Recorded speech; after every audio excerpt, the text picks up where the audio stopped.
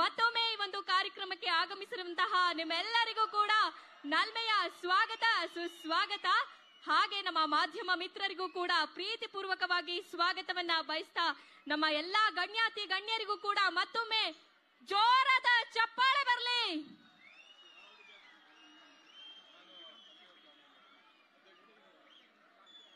ಈ ಒಂದು ಕಾರ್ಯಕ್ರಮಕ್ಕೆ ಆಗಮಿಸಿರುವಂತಹ ನಮ್ಮ ನಿಮ್ಮೆಲ್ಲರ ಅಚ್ಚುಮೆಚ್ಚಿನ ಗಣ್ಯಾತಿ ಗಣ್ಯರಿಗೆ ಮತ್ತೊಮ್ಮೆ ಹೃದಯ ಪೂರ್ವಕವಾಗಿ ಸ್ವಾಗತವನ್ನ ಬಯಸೋಣ ಸ್ನೇಹಿತರೆ. ಇದು ಬಹಳ ಅದ್ಭುತವಾದ ಬೃಹತ್ ಸಮಾವೇಶ. ಬೆಂಗಳೂರು ಲೋಕಸಭೆ ಕ್ಷೇತ್ರದ ಕಾರ್ಯಕರ್ತರ ಬೃಹತ್ ಸಮಾವೇಶ. ಇನ್ನೇನು ನಾಲ್ಕೈದು ದಿನಗಳು ಇದೆ. ಮತದಾನವನ್ನ ಮಾಡೋದಿಕ್ಕೆ ನಿಮ್ಮ ಮತ ದೇಶಕ್ಕೆ ಹಿತ ಅಂತ ಹೇಳ್ತಾ ಈಗ ಕಾರ್ಯಕ್ರಮವನ್ನ ಮುಂದುವರಿಸ್ತಾ ಇದ್ದೀವಿ. ದಯವಿಟ್ಟು ಎಲ್ಲರೂ ಸಹಕರಿಸಿ ಹಾಗೆ ಕುತ್ಕೋಬೇಕು. ನಿಮ್ಮೆಲ್ಲರ ಸಹಕಾರ ಕಾರ್ಯಕ್ರಮಕ್ಕೆ ಬಹಳ ಬಹಳ ದೊಡ್ಡ ಮೆರುಗು ಅಂತ ಹೇಳಿ ಕೇಳ್ಕೊತಾ ಈಗ ಕಾರ್ಯಕ್ರಮವನ್ನ ಮುಂದುವರಿಸ್ತಾ ಇದ್ದೀವಿ. ದಯವಿಟ್ಟು ಕಾರ್ಯಕ್ರಮವನ್ನ ಶುರು ಮಾಡ್ತಾ ಇದ್ದೀವಿ. ದಯವಿಟ್ಟು ಎಲ್ಲರೂ ಸಹಕರಿಸಿ ಅಂತ ಹೇಳಿ ಮತ್ತೊಮ್ಮೆ ನಾನು ವಿನಯ ಪೂರ್ವಕವಾಗಿ ಮನವಿಯನ್ನ ಮಾಡ್ಕೊಳ್ತಾ ಇದ್ದೀನಿ. ಈಗ ಪ್ರಾರ್ಥನೆ ಗೀತೆಯೊಂದಿಗೆ ಕಾರ್ಯಕ್ರಮವನ್ನ ಶುರು ಮಾಡೋಣ. ಪುರುಷೋತ್ ನಮ್ಮ ಸರ್ವೋತ್ತಮ್ ಮತ್ತು ತಂಡದವರಿಂದ ಈಗ ಪ್ರಾರ್ಥನೆ ಗೀತೆ. ಕಡಲೊಳಗಿನ ಮುತ್ತಿನಂತೆ ಹೂವೊಳಗಿನ ಪರಿಮಳದಂತೆ.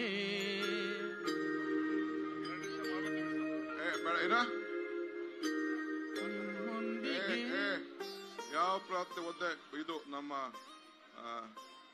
ಒಂದೇ ಮಾತರಂ ಅಷ್ಟೇ. ಒಂದೇ ಮಾತರಂ ಬೇರೆ ಯಾವುದು ಇಲ್ಲ. ಕಾಂಗ್ರೆಸ್ ಹೆಸರು ಕೂದಾಗ ಒಂದೇ ಮಾತರಂ. ಮಾಡಿ ಒಂದೇ ರ- ಒಂದೇ ಮಾತರಂ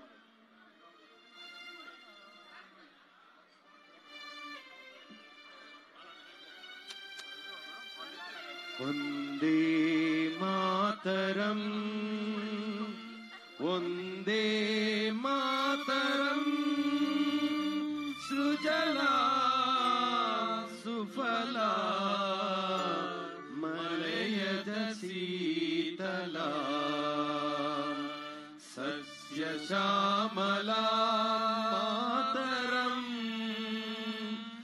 ಒಂದೇ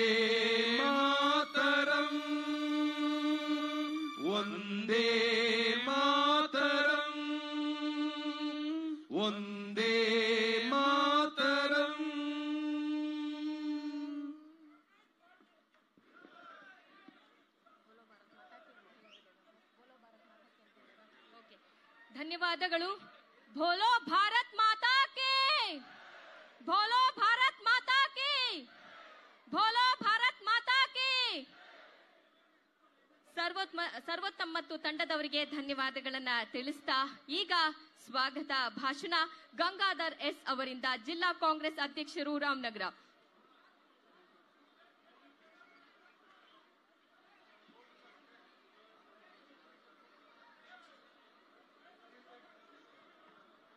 ಎಲ್ಲರಿಗೂ ನಮಸ್ಕಾರ. ಬೆಂಗಳೂರು ಗ್ರಾಮಾಂತರ ಪಾರ್ಲಿಮೆಂಟ್ ಚುನಾವಣೆಯ ಈ ಸಂದರ್ಭದಲ್ಲಿ ಬೆಂಗಳೂರು ಗ್ರಾಮಾಂತರ ಕ್ಷೇತ್ರವಾದ ಚನ್ನಪಟ್ಟಣ ವಿಧಾನಸಭಾ ಕ್ಷೇತ್ರಕ್ಕೆ ಆಗಮಿಸಿರ್ತಕ್ಕಂಥ ಅಖಿಲ ಭಾರತೀಯ ಕಾಂಗ್ರೆಸ್ ಪಕ್ಷದ ಅಧ್ಯಕ್ಷರು ಮತ್ತು ರಾಜ್ಯಸಭೆಯ ವಿರೋಧ ಪಕ್ಷದ ನಾಯಕರು, ನಮ್ಮೆಲ್ಲರ ನೆಚ್ಚಿನ ನಾಯಕರಾದ ಮಲ್ಲಿಕಾರ್ಜುನ್ ಖರ್ಗೆ ಸಾಹೇಬರನ್ನ ತಮ್ಮೆಲ್ಲರ ಪರವಾಗಿ ಮತ್ತು ರಾಮನಗರ ಜಿಲ್ಲಾ ಕಾಂಗ್ರೆಸ್ಸಿನ ಪರವಾಗಿ ತುಂಬು ಹೃದಯದ ಸ್ವಾಗತವನ್ನು ಮಾಡ್ತೇನೆ.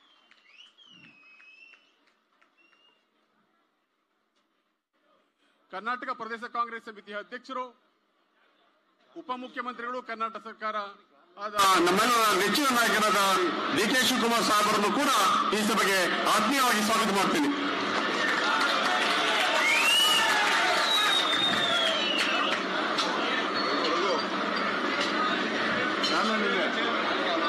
ವಿಧಾನ ಪರಿಷತ್ ಸದಸ್ಯರಾದ ಶ್ರೀಮಾನ್ ಪುಟ್ಟಣ್ಣನವರನ್ನು ಕೂಡ ಈ ಸಭೆಗೆ ಆತ್ಮೀಯವಾಗಿ ಸ್ವಾಗತ ಮಾಡ್ತೇನೆ ಹಾಗೆ ಎಐಸಿಸಿ ಸೆಕ್ರೆಟರಿಗಳಾದ ಪ್ರಣವ್ ರಾವ್ ಅವರನ್ನು ಕೂಡ ಆತ್ಮೀಯವಾಗಿ ಸ್ವಾಗತ ಮಾಡ್ತೇನೆ. ಹಾಗೆ ಗ್ಯಾರಂಟಿ ಅನುಷ್ಠಾನ ಪ್ರಾಧಿಕಾರದ ಅಧ್ಯಕ್ಷರು ಮತ್ತು ಮಾಜಿ ಮಂತ್ರಿಗಳಾದ ರೇವಣ್ಣ ಸಾಹೇಬರನ್ನು ಕೂಡ ಆತ್ಮೀಯವಾಗಿ ಸ್ವಾಗತ ಮಾಡ್ತೇನೆ. ವಿಧಾನ ಪರಿಷತ್ ಸದಸ್ಯರಾದ ಸುಧಾಮ್ ದಾಸ್ ಸಾಹೇಬರನ್ನು ಕೂಡ ಆತ್ಮೀಯವಾಗಿ ಸ್ವಾಗತ ಮಾಡ್ತೇನೆ. ಹಾಗೆ ಮಾಜಿ ಶಾಸಕರಾದ ಅಶ್ವಥ್ ಅವರನ್ನು ಕೂಡ ಆತ್ಮೀಯವಾಗಿ ಸ್ವಾಗತ ಮಾಡ್ತೇನೆ. ಹಾಗೆ ಮಾಜಿ ಸಾಧಕಾರ ಶಾಸಕರಾದ ಸದತ್ ಅಲಿಖಾನ್ ಸಾಹೇಬರನ್ನು ಕೂಡ ಆತ್ಮೀಯವಾಗಿ ಸ್ವಾಗತ ಮಾಡ್ತೇನೆ.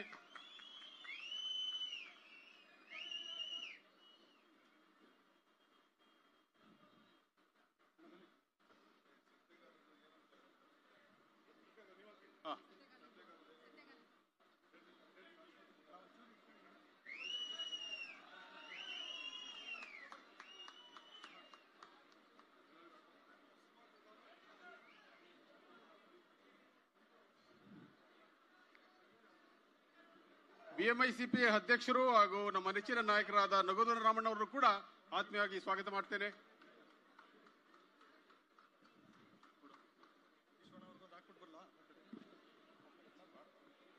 ಹಾಗೆ ಕೆಪಿಸಿಸಿ ಜನರಲ್ ಸೆಕ್ರೆಟರಿಗಳಾದ ನಮ್ಮೆಲ್ಲರ ಸ್ನೇಹಿತರಾದ ವಿಶ್ವನಾಥ್ ಅವರನ್ನು ಕೂಡ ಆತ್ಮೀಯವಾಗಿ ಸ್ವಾಗತ ಮಾಡ್ತೇನೆ.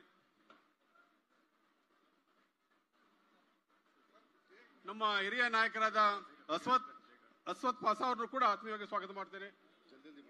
ಹಾಗೆ ಕುಕ್ಕುರ್ದೊಡ್ಡಿ ಸೇಬಣ್ಣವರು ಆತ್ಮೀಯವಾಗಿ ಸ್ವಾಗತ ಮಾಡ್ತೇನೆ. ಹಾಗೆ ಪಕ್ಷದ ಎಲ್ಲ ಮುಖಂಡರನ್ನು, ಪ್ರಮುಖ ಮುಖಂಡರುಗಳನ್ನು, ಎಲ್ಲ ಮುಖಂಡರನ್ನು ಕೂಡ ಘಟಕ, ವಿವಿಧ ಘಟಕದ ಅಧ್ಯಕ್ಷರುಗಳು ಎಲ್ಲ ಬ್ಲಾಕ್ ಅಧ್ಯಕ್ಷರುಗಳನ್ನ ಎಲ್ಲರನ್ನು ಕೂಡ ಈ ಕಾರ್ಯಕ್ರಮಕ್ಕೆ ಆತ್ಮೀಯವಾಗಿ ಸ್ವಾಗತ ಮಾಡ್- ಮಾಡ್ತಾ ನಾನು ನನ್ನ ಸ್ವಾಗತ ಭಾಷಣವನ್ನು ಮುಗಿಸ್, ಮುಗಿಸಿದ ಎಐಸಿಸಿ ಅಧ್ಯಕ್ಷರಾದ ಖರ್ಗೆ ಅವರನ್ನ ಮುಂದಿನ ಕಾರ್ಯಕ್ರಮ ನಡೆಸ್ಕೊಡ್ಬೇಕು ಅಂತೇಳಿ ಕೇಳ್ಕೊತೇನೆ. ಕಾರ್ಯಕ್ರಮಕ್ಕೆ ಜಿಲ್ಲಾ ಕಾಂಗ್ರೆಸ್ ಅಧ್ಯಕ್ಷರಾದ ಗಂಗಾಧರರು ಕೂಡ ಆತ್ಮೀಯವಾಗಿ ಸ್ವಾಗತವನ್ನ ಬಯಸ್ತಾ ಇದ್ದೀವಿ ತಾಲೂಕು ಕಾಂಗ್ರೆಸ್ ಸಮಿತಿಯಿಂದ. ಧನ್ಯವಾದಗಳನ್ನ ತಿಳಿಸ್ತಾ ಈಗ ಕಾರ್ಯಕ್ರಮವನ್ನ ಕುರಿತು ನಮ್ಮ ನಿಮ್ಮೆಲ್ಲರ ಅಚ್ಚುಮೆಚ್ಚಿನ ಮಾನ್ಯ ಉಪಮುಖ್ಯಮಂತ್ರಿಗಳು ಮಾತಾಡ್ಬೇಕು ಅಂತ ಹೇಳಿ ಕೇಳ್ಕೊತಾ ಇದ್ದೀನಿ. ಸ್ನೇಹಿತರೆ ಒಂದ್ಸತಿ ಜೋರಾದ ಚಪ್ಪಾಳೆ ಬರಲಿ!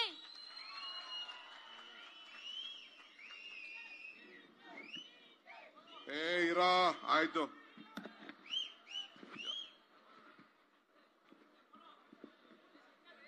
ಯಾರು ನನ್ನಿಂದ ನಿಂತ್ಕೊಬೇಡಿ, ದಯವಿಟ್ಟು please.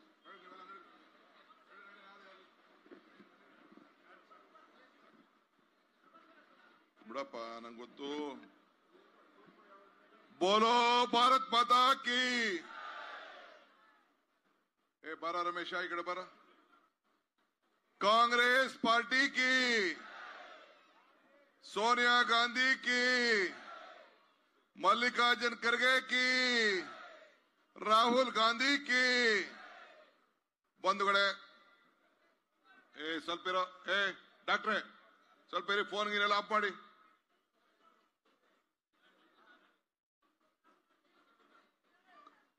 ಭಾರತೀಯ ರಾಷ್ಟ್ರೀಯ ಕಾಂಗ್ರೆಸ್ ಪಕ್ಷದ, ಸ್ವಲ್ಪ ಇಲ್ಲಿ ಡಿಸಿಪ್ಲಿನ್ ಸ್ವಲ್ಪ ಇರಿ ನೀವು ಕೂತ್ಕೊಳ್ಳಿ, ನೀನು, ಕೂತ್ಕೊಳ್ಳಿ ಸ್ವಲ್ಪ. ಭಾರತೀಯ ರಾಷ್ಟ್ರೀಯ ಕಾಂಗ್ರೆಸ್ ಪಕ್ಷದ ಅಧ್ಯಕ್ಷರಾದಂತ ನಮ್ಮ ರಾಷ್ಟ್ರೀಯ ನಾಯಕರಾದಂತ ಮಲ್ಲಿಕಾರ್ಜುನ್ ಖರ್ಗೆ ಸಾಹೇಬ್ರೆ, ವೇದಿಕೆಯಲ್ಲಿರುವಂತ ನಿಮ್ಮ ತಾಲೂಕ್ನವರೇ ಆದಂತ ವಿಧಾನ ಪರಿಷತ್ತಿನ ಸದಸ್ಯರಾದಂತ ಪುಟ್ಟಣ್ಣವರೇ, ನಮ್ಮ ಮಾಜಿ ಶಾಸಕರು, ನಮ್ಮ ಹಿರಿಯ ಮುಖಂಡರಾದಂತ ಸಾತ್ ಅಲಿ ಖಾನ್ ರವರೇ, ಮಾಜಿ ಮಂತ್ರಿಗಳಂತ ಈ ನಮ್ಮ ಐದು ಗ್ಯಾರಂಟಿಗಳ ಅನುಷ್ಠಾನ ಸಮಿತಿಯ ಅಧ್ಯಕ್ಷರಾಗಿ ಜವಾಬ್ದಾರಿಯನ್ನು ತೆಗೆದುಕೊಂಡಂತ ನಮ್ಮ ಎಚ್ ಎಂ ರೇವಣ್ಣವರೇ, ವಿಧಾನ ಪರಿಷತ್ತಿನ ಸದಸ್ಯರಾದಂತಹ ಸುಧಾಮ್ ದಾಸ್ ರವರೇ, ಜಿಲ್ಲಾ ಕಾಂಗ್ರೆಸ್ಸಿನ ಅಧ್ಯಕ್ಷರಂತ ಗಂಗಾಧರ್ ಅವರೇ ಮಾಜಿ ಶಾಸಕರಾದಂತ ಅಶ್ವಥ್ ರವರೇ ಪ್ರಧಾನ ಕಾರ್ಯದರ್ಶಿಗಳಂತ ವಿಶ್ವನಾಥ್ ರವರೇ, ನಮ್ಮ ಜೂನಿಯರ್ ಫೌಜ್ದಾರ್ ಅವರೇ, ರಘು ರಾಮಣ್ಣ ಅವರೇ, ನಮ್ಮ ಹಿರಿಯ ಮುಖಂಡರಂತ ಅಶ್ಮತ್ ಪಾಜಾ ನಿಜಾಮಿ ಅವರೇ ಶಿವಣ್ಣವರಿದ್ದಾರೆ ನಮ್ಮ ಮಹಿಳಾ ಕಾಂಗ್ರೆಸ್ಸಿನ ಅಧ್ಯಕ್ಷರಂತ ದೀಪಾರ್ ಅವರು ಇದ್ದಾರೆ ರಘುರಾಮಣ್ಣ ಅವರಿದ್ದಾರೆ ಮುನ್ಸಿಪಲ್ ಅಧ್ಯಕ್ಷರು ಪ್ರಶಾಂತ್ ಮತ್ತು ಹೊಸದಾಗಿ ನಮ್ಮ ಪಕ್ಷಕ್ಕೆ ತಂಡ ತಂಡವಾಗಿ ಸೇರಿದಂತ ಜನತಾದಳದ ಎಲ್ಲ ಕೌನ್ಸಿಲರ್ಗಳೇ, ನಮ್ಮ ಬಿಜೆಪಿಯಿಂದ ನಮ್ಮ ಪಕ್ಷಕ್ಕೆ ಸೇರಿದಂತ ಮಲ್ವೀರೇಗೌಡ್ರೆ, ವಾಣಿ ಶಿವರಾಮ್ರವರು, ನಮ್ಮ ಶಿವರಾಮ್ರವರ ಧರ್ಮಪತ್ನಿ ಬಂದಿದ್ದಾರೆ.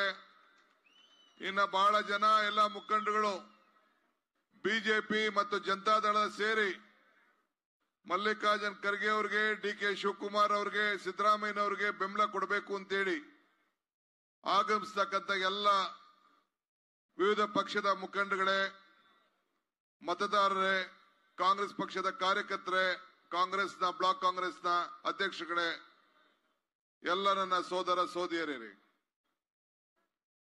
ಇದೊಂದು ಐತಿಹಾಸಿಕವಾದಂತಹ ಸಮಾವೇಶ. ಸ್ವಲ್ಪ ನೀವು ಇಲ್ಲಿರೋ ಶಾಂತಿಯಿಂದ ಇರಬೇಕು. ಅವರೊಬ್ರಿಗೆ ಬಿಡ್ರಿ. ಇದೊಂದು ಐತಿಹಾಸಿಕವಾದಂತಹ ಸಮಾವೇಶ.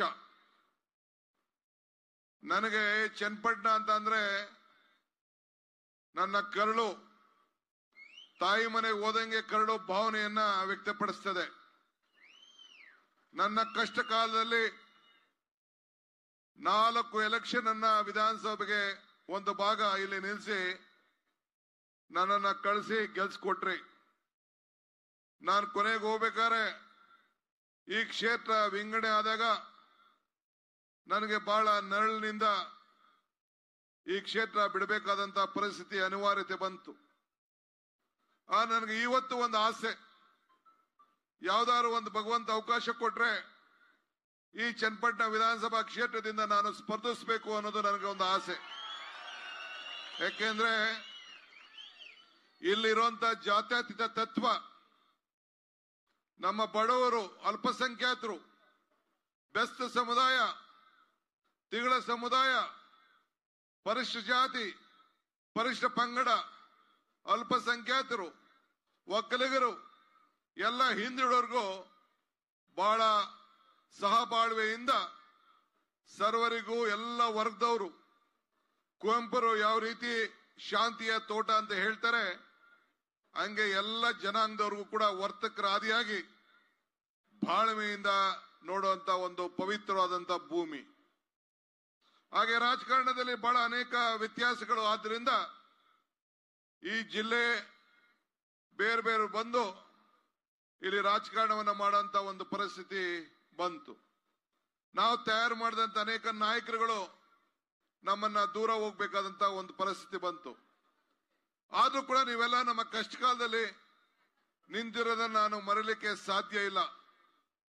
ಇವತ್ತು ಕೂಡ ಚನ್ನಪಟ್ಟಣ ತಾಲೂಕಿನ ಯಾವುದೇ ಕಾರ್ಯಕರ್ತರು ಬಂದ್ರು ಕೂಡ ನನಗೆ ನನ್ನ ಕ್ಷೇತ್ರದ ಕಾರ್ಯಕರ್ತರೇ ಬರ್ತಾ ಇದ್ದಾರೆ ಅನ್ನೋ ಒಂದು ಭಾವನೆಯನ್ನ ಇವತ್ತು ಕೂಡ ನನ್ನ ಕಣ್ಣಿಗೆ ಕಾಣ್ತಾ ಇದೆ. ನಾನು ಇವತ್ತು ಪವಿತ್ರವಾದಂತಹ ಸಭೆಯಲ್ಲಿ ಜನತಾದಳದ ಕಾರ್ಯಕರ್ತರಿಗೆ ಮತ್ತು ಬಿಜೆಪಿ ಕಾರ್ಯಕರ್ತರಿಗೆ ಏನು ಕರೆಯನ್ನ ಕೊಡ್ಲಿಕ್ಕೆ ನಾನು ಬಯಸ್ತಾ ಇದ್ದೀನಿ ಅಂತಂದ್ರೆ, ನಿಮ್ಮ ಭವಿಷ್ಯ, ಕಾಂಗ್ರೆಸ್ ಶಕ್ತಿ, ದೇಶದ ಶಕ್ತಿ. ಕಾಂಗ್ರೆಸ್ ಇತಿಹಾಸ, ಈ ದೇಶದ ಇತಿಹಾಸ. ಕಾಂಗ್ರೆಸ್ ಅಧಿಕಾರಕ್ಕೆ ಬಂದ್ರೆ ಎಲ್ಲ ವರ್ಗದ ಜನರ ಅಧಿಕಾರಕ್ಕೆ ಬಂದಂಗೆ. ಇವತ್ತು ಈ ದೇಶದಲ್ಲಿ ಯಾವುದೇ ಬಡಜನತೆಯ ಕಾರ್ಯಕ್ರಮ ಇದ್ರೂ ಕೂಡ, ಇಂದಿರಾ ಗಾಂಧಿ ಅವರ ಕಾಲದಿಂದ ಹಿಡಿದು, ಜವಾಹರ್ಲಾಲ್ ನೆಹರು ಕಾಲದಿಂದ ಹಿಡಿದು ಮನಮೋಹನ್ ಸಿಂಗ್ ಕಾಲದವರೆಗೂ ಕೂಡ ದೇವರಾಜ ಅರಸು ಕಾಲದಿಂದ ಹಿಡಿದು ಕೃಷ್ಣ ಅವ್ರ ಕಾಲದವರೆಗೂ, ಈಗ ಸಿದ್ದರಾಮಯ್ಯವ್ರ ಕಾಲದವರೆಗೂ ಕೂಡ ಎಲ್ಲ ಬಡ ಜನತೆಗೆ ಅನುಕೂಲ ಆಗುವಂತ ಕಾರ್ಯಕ್ರಮಗಳನ್ನ ಜನರಿಗೆ ಉಡೋ ಭೂಮಿಯಿಂದ ಹಿಡಿದು ಪೆನ್ಷನ್ ಇಂದ ಹಿಡಿದು, ಇವತ್ತು ಎಲ್ಲ ಮಕ್ಕಳಿಗೆ ಬಿಸಿ ಊಟದಿಂದ ಹಿಡಿದು, ಎಲ್ಲ ಶಾಲಾ ಕಾಲೇಜುಗಳಿಗೆ ಉತ್ತಮವಾದಂತಹ ವಿದ್ಯಾಭ್ಯಾಸ ಎಲ್ಲ ಕೂಡ ಗಮನದಲ್ಲಿ ಇಟ್ಕೊಂಡು, ಏ ಯಾರನ್ನು ಬಿಡಬೇಡ್ರಿ ಡೋಂಟ್ ಲೀವ್ ಎನಿ ಒನ್ ಇವರೇ ಯಾರನ್ನು ಬಿಟ್ಟು ಡಿಸ್ಟರ್ಬ್ ಮಾಡ್ಬಿಡಿ ಇಲ್ಲಿ. ಎಲ್ಲ ಕೆಳಗಡೆ ವೆಯ್ಟ್ ಮಾಡ್ಲಿ. ಎಲ್ಲರೂ ಕೂಡ ಈ ಸಂದರ್ಭದಲ್ಲಿ ನಾವು ಎಲ್ಲ ವರ್ಗಕ್ಕೂ ಕೂಡ ಸಹಾಯ ಮಾಡುವಂತ ಕೆಲಸವನ್ನ ನಾವು ಮಾಡಿಕೊಂಡು ನಾವು ಬರ್ತಾ ಇದ್ದೇವೆ. ಇದನ್ನ ತಾವು ಗಮನದಲ್ಲಿ ಇಟ್ಕೊಳ್ಬೇಕು. ಇದು ಕಾಂಗ್ರೆಸ್ ಪಕ್ಷದ ಮಾತ್ರ ಸಾಧ್ಯ. ನಾನು ಜನತಾದಳದ ಬಿಜೆಪಿ ಕಾರ್ಯಕರ್ತರಿಗೆ ಹೇಳೋದಿಷ್ಟೇ ಜನತಾದಳಕ್ಕೆ ಭವಿಷ್ಯ ಇಲ್ಲ ಅನ್ನೋದನ್ನ ನಿಮ್ಮ ಶಾಸಕರು ತೋರಿಸ್ಕೊಟ್ಟಿದ್ದಾರೆ. ಇವತ್ತು ಅವರ ಬಾಮೈದನನ್ನ, ದೇವೇಗೌಡರ ಅಳಿನನ್ನ ಇವತ್ತು ತೆನೆಯತ್ತ ಮಹಿಳೆಯ ಚಿಹ್ನೆಯಲ್ಲಿ ಬಿಟ್ಟು, ಜನತಾದಳ ಬಿಟ್ಟು ಈ ದೇಶಕ್ಕೆ ಯಾರನ್ನ ನೀವು ಪ್ರಧಾನಮಂತ್ರಿ ಮಾಡಿದ್ರಿ? ಯಾವ ಜಿಲ್ಲೆ ನಿಮ್ಮನ್ನ ಮುಖ್ಯಮಂತ್ರಿ ಮಾಡ್ತು? ಎರಡು ಬಾರಿ ಕುಮಾರಸ್ವಾಮಿನ ಎಲ್ಲಿ ಶಾಸಕರನ್ನ ಮೂರು ಬಾರಿ ಶಾಸಕರನ್ನ ಮಾಡಿ ಮುಖ್ಯಮಂತ್ರಿ ಮಾಡ್ತು.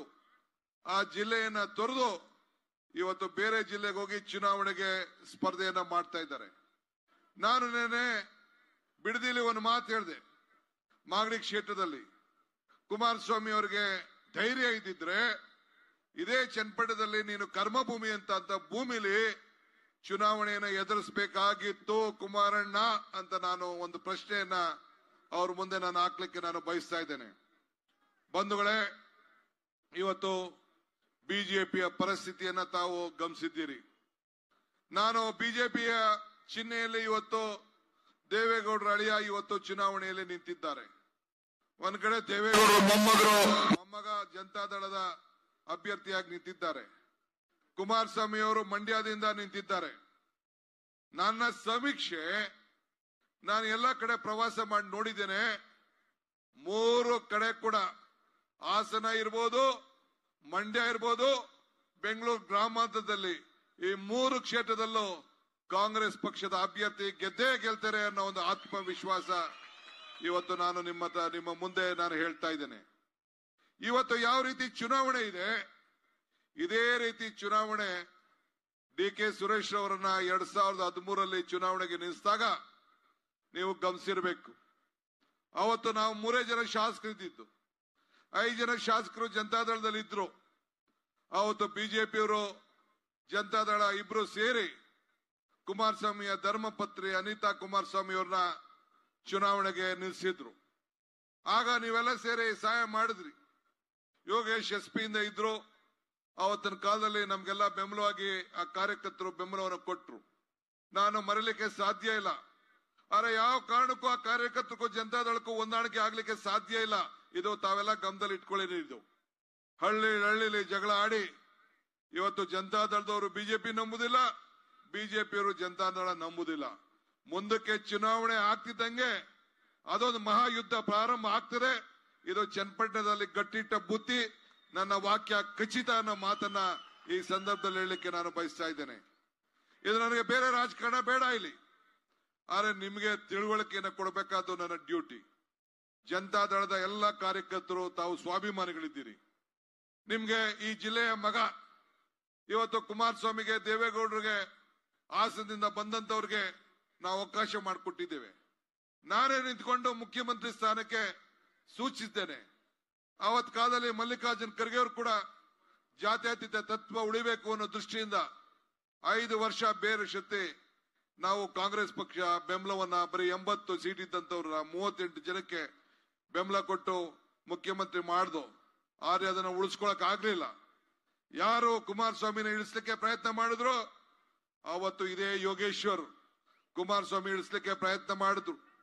ಇವತ್ತು ಬೇರೆ ಎಲ್ಲ ಅಶೋಕ್, ಇವತ್ತು ಯಡಿಯೂರಪ್ಪನವರು ಅಶ್ವಥ್ ನಾರಾಯಣ, ಯಾರು ನಮ್ಮ ಗೋಪಾಲಯ್ಯ, ಯಾರು ನಾರಾಯಣಗೌಡ ಯಾರ್ಯಾರು ಕುಮಾರಸ್ವಾಮಿನ ಕೆಳಗೆ ಇಳಿಸಿದ್ರು, ಇವತ್ತು ಕುಮಾರಸ್ವಾಮಿ ಹತ್ರ ಬಂದು ತಬ್ಬಾಡ್ತಾ ಇದ್ದಾರೆ.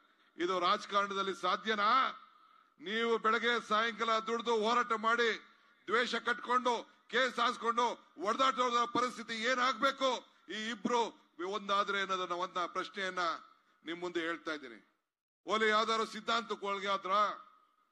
ಯಾವ ಸಿದ್ಧಾಂತ ಕೂಡ ಇಲ್ಲ. ಯಾವ್ದು ಒಂದು ನೀತಿ ಇಲ್ಲ. ಆದ್ರಿಂದ ಈ ಸಂದರ್ಭದಲ್ಲಿ ತಾವು ಜನತಾದಳದವರು ಇಲ್ಲ ಬಿಜೆಪಿ ಕಾರ್ಯಕರ್ತರು. ಬಹಳ ಜನ ನಮ್ಮೆಲ್ಲ ಮೇಲೆ ವಿಶ್ವಾಸ ಇಟ್ಟು ನಮ್ಮ ಜೊತೆ ಸೇರಿದ್ದೀರಿ. ನಿಮ್ಗೆಲ್ಲ ನಾನು ಸ್ವಾಗತ ಮಾಡ್ತೇನೆ. ನಾನು ಡಿ ಕೆ ಸುರೇಶ್ ಮತ್ತು ನಿಮ್ಮೆಲ್ಲ ಮುಖಂಡಗಳು ನಿಮ್ಮನ್ನ ನಾನು ಬಹಳ ಸಂತೋಷದಿಂದ ಸ್ವಾಗತವನ್ನ ನಾನು ಮಾಡಿ ನಿಮ್ಮನ್ನ ಒಟ್ಟಿಗೆ ತೆಗೆದುಕೊಂಡು ಹೋಗುವಂತ ಕೆಲಸವನ್ನು ಮಾಡ್ತೇನೆ. ನಾನು ಕುಮಾರಸ್ವಾಮಿಗೆ ಒಂದು ಮಾತು ಕೇಳಲಿಕ್ಕೆ ಪ್ರಶ್ನೆ ಮಾಡ್ತೀನಿ. ನಿನಗೆ ಅಧಿಕಾರ ಇತ್ತಲ್ಲೇನಪ್ಪ? ಎರಡು ಬಾರಿ ಮುಖ್ಯಮಂತ್ರಿ ಆಗಿದ್ದೆ ಬೇಕಾದಷ್ಟು ಬಿಜೆಪಿ ಜೊತೆ ಹೊಂದಾಣಿಕೆ ಇತ್ತು. ಒಬ್ಬ ಕಾರ್ಯಕರ್ತನಿಗೆ ಒಂದು ಅಧಿಕಾರವನ್ನ ನಿನ್ನ ಕೈಯಲ್ಲಿ ಕೊಡ್ಸಕ್ ಆಗ್ಲಿಲ್ಲ ಚನ್ನಪಟ್ಟಣದಲ್ಲಿ ನಿನ್ನ ಮುಖ್ಯಮಂತ್ರಿ ಆಗಿದ್ದಾಗ ನಿನ್ನ ಕಾರ್ಯಕರ್ತರು ಒಬ್ರು ಕೂಡ ನೀನು ರಕ್ಷಣೆ ಮಾಡಕ್ ಆಗ್ಲಿಲ್ಲ ಒಬ್ರು ಕೂಡ ಒಂದು ಒಳ್ಳೆ ಗಾಡಿಲಿ ಓಡಾಡ್ಲಿಕ್ಕೆ ನೀನು ಸಂತೋಷವನ್ನು ಪಡಕ್ ಆಗ್ಲಿಲ್ಲ ನಿನ್ನ ಕಾರ್ಯಕರ್ತರಿಗೆ ರಕ್ಷಣೆ ಮಾಡಕ್ ಆಗ್ಲಿಲ್ಲ ಅಂತ ಅಂದ್ಮೇಲೆ ನೀನು ಇವತ್ತು ಮಂಡಿಕ್ ಹೋಗಿ ಆ ಕಾರ್ಯಕರ್ತರ ಮೇಲೆ ನಂಬಿಕೆ ಇಲ್ಲದೆ ಮಂಡಿಕ್ ಹೋಗಿ ಚುನಾವಣೆಯನ್ನ ನಿಲ್ತ ನಿಂತ್ಕೊಂಡಿದ್ದೆ ಇವತ್ತು ನಿಮ್ಮ ಬಾಮೈದನ್ನ ನಿನ್ನ ಪಕ್ಷ ಬಿಟ್ಬಿಟ್ಟು ಬೇರೆ ಪಕ್ಷಕ್ಕೆ ಹೋಗಿ ಇವತ್ತು ಚುನಾವಣೆ ಕಣಕ್ಕೆ ನಿಲ್ಲಿಸ್ತಾ ಇರೋದು. ಇದಕ್ಕಿನ್ನ ಅವಮಾನ ಇನ್ನೊಂದು ಇಲ್ಲ ಅಂತ ಹೇಳಿ ನಾನು ಗೌಡ್ರಿಗೆ ಕುಮಾರಸ್ವಾಮಿಗೆ ಹೇಳಲಿಕ್ಕೆ ನಾನು ಈ ಸಂದರ್ಭದಲ್ಲಿ ನಾನು ಪ್ರಯತ್ನವನ್ನ ನಾನು ಮಾಡ್ತಾ ಇದ್ದೇನೆ. ಬಂಧುಗಳೇ, ತಮ್ಗೆ ಹೇಳೋದಿಷ್ಟೇ. ಈಗ ಬಿಜೆಪಿ ಅಭ್ಯರ್ಥಿಯಾಗಿ ಮಂಜುನಾಥ್ ನಿಲ್ಲಿಸಿದ್ದಾರೆ ನಾನು ಅವ್ರ ಬಗ್ಗೆ ಏನ್ ಮಾತಾಡ್ಲಿ? ಪಾಪ ಎಲ್ಲ ಸರ್ಕಾರಿ ನೌಕರಲ್ಲಿದ್ರು, ಇವತ್ತು ಬಂದು ಚಿನ್ನ ಎಲ್ಲೇ ಚಿಹ್ನೆ ಜನತ ಬಿಜೆಪಿ ಚಿಹ್ನೆಯಲ್ಲಿ ನಿಂತಿದ್ದಾರೆ. ನಾನು ಬಿಜೆಪಿ ಅವರು ಏನ್ ಮಾಡಿದ್ರು ಅಂತ ಒಂದು ಪ್ರಶ್ನೆ ಕೇಳ್ತಾ ಇದ್ದೀನಿ. ನಿಮ್ಗೊಂದು ಮಾತು ಕೊಟ್ರು. ಏನ್ ನಾವೊಂದು ಅಡ್ವರ್ಟೈಸ್ಮೆಂಟ್ ಕೊಟ್ಟಿದ್ದೋ ನಿನ್ನೆನೋ ಮೊನ್ನೆನೋ ಒಂದು ಖಾಲಿ ಚೊಂಬು ಅಂತ ಹೇಳಿ ಚೊಂಬು ಕೊಟ್ಬಿಟ್ರಿ ನಮ್ ಜನರಿಗೆ ಅಂತ ಕೊಟ್ಟಿದ್ದೋ. ಹದಿನೈದು ಎಲ್ಲ ಕಪ್ಪು ಹಣವನ್ನ ತೆಗೆದುಕೊಂಡು ಬಂದು ನಿಮ್ಮೆಲ್ಲರಿಗೂ ಕೂಡ ಹದಿನೈದು ಲಕ್ಷ ರೂಪಾಯಿ ಹಾಕ್ತೀವಿ ನೀವು ಜನ್ಧನ್ ಅಕೌಂಟ್ ಜನ್ಧನ್ ಅಕೌಂಟ್ ಮಾಡಿ ಅಂತ ಹೇಳಿ ನಿಮ್ಮೆಲ್ಲರಿಗೂ ಹೇಳಿದ್ರು. ಯಾರಿಗಾರು ಹದಿನೈದು ಲಕ್ಷ ಬಂತ ತಾಯಿ? ನಿಮ್ ಮನೆ ಯಜಮಾನ್ರಿಗೆ ಯಾರಿಗಾರು ಬಂತ? ನಿಮ್ಗೆ ಯಾರಿಗಾರು ಬಂತ ಹದಿನೈದು ಲಕ್ಷ?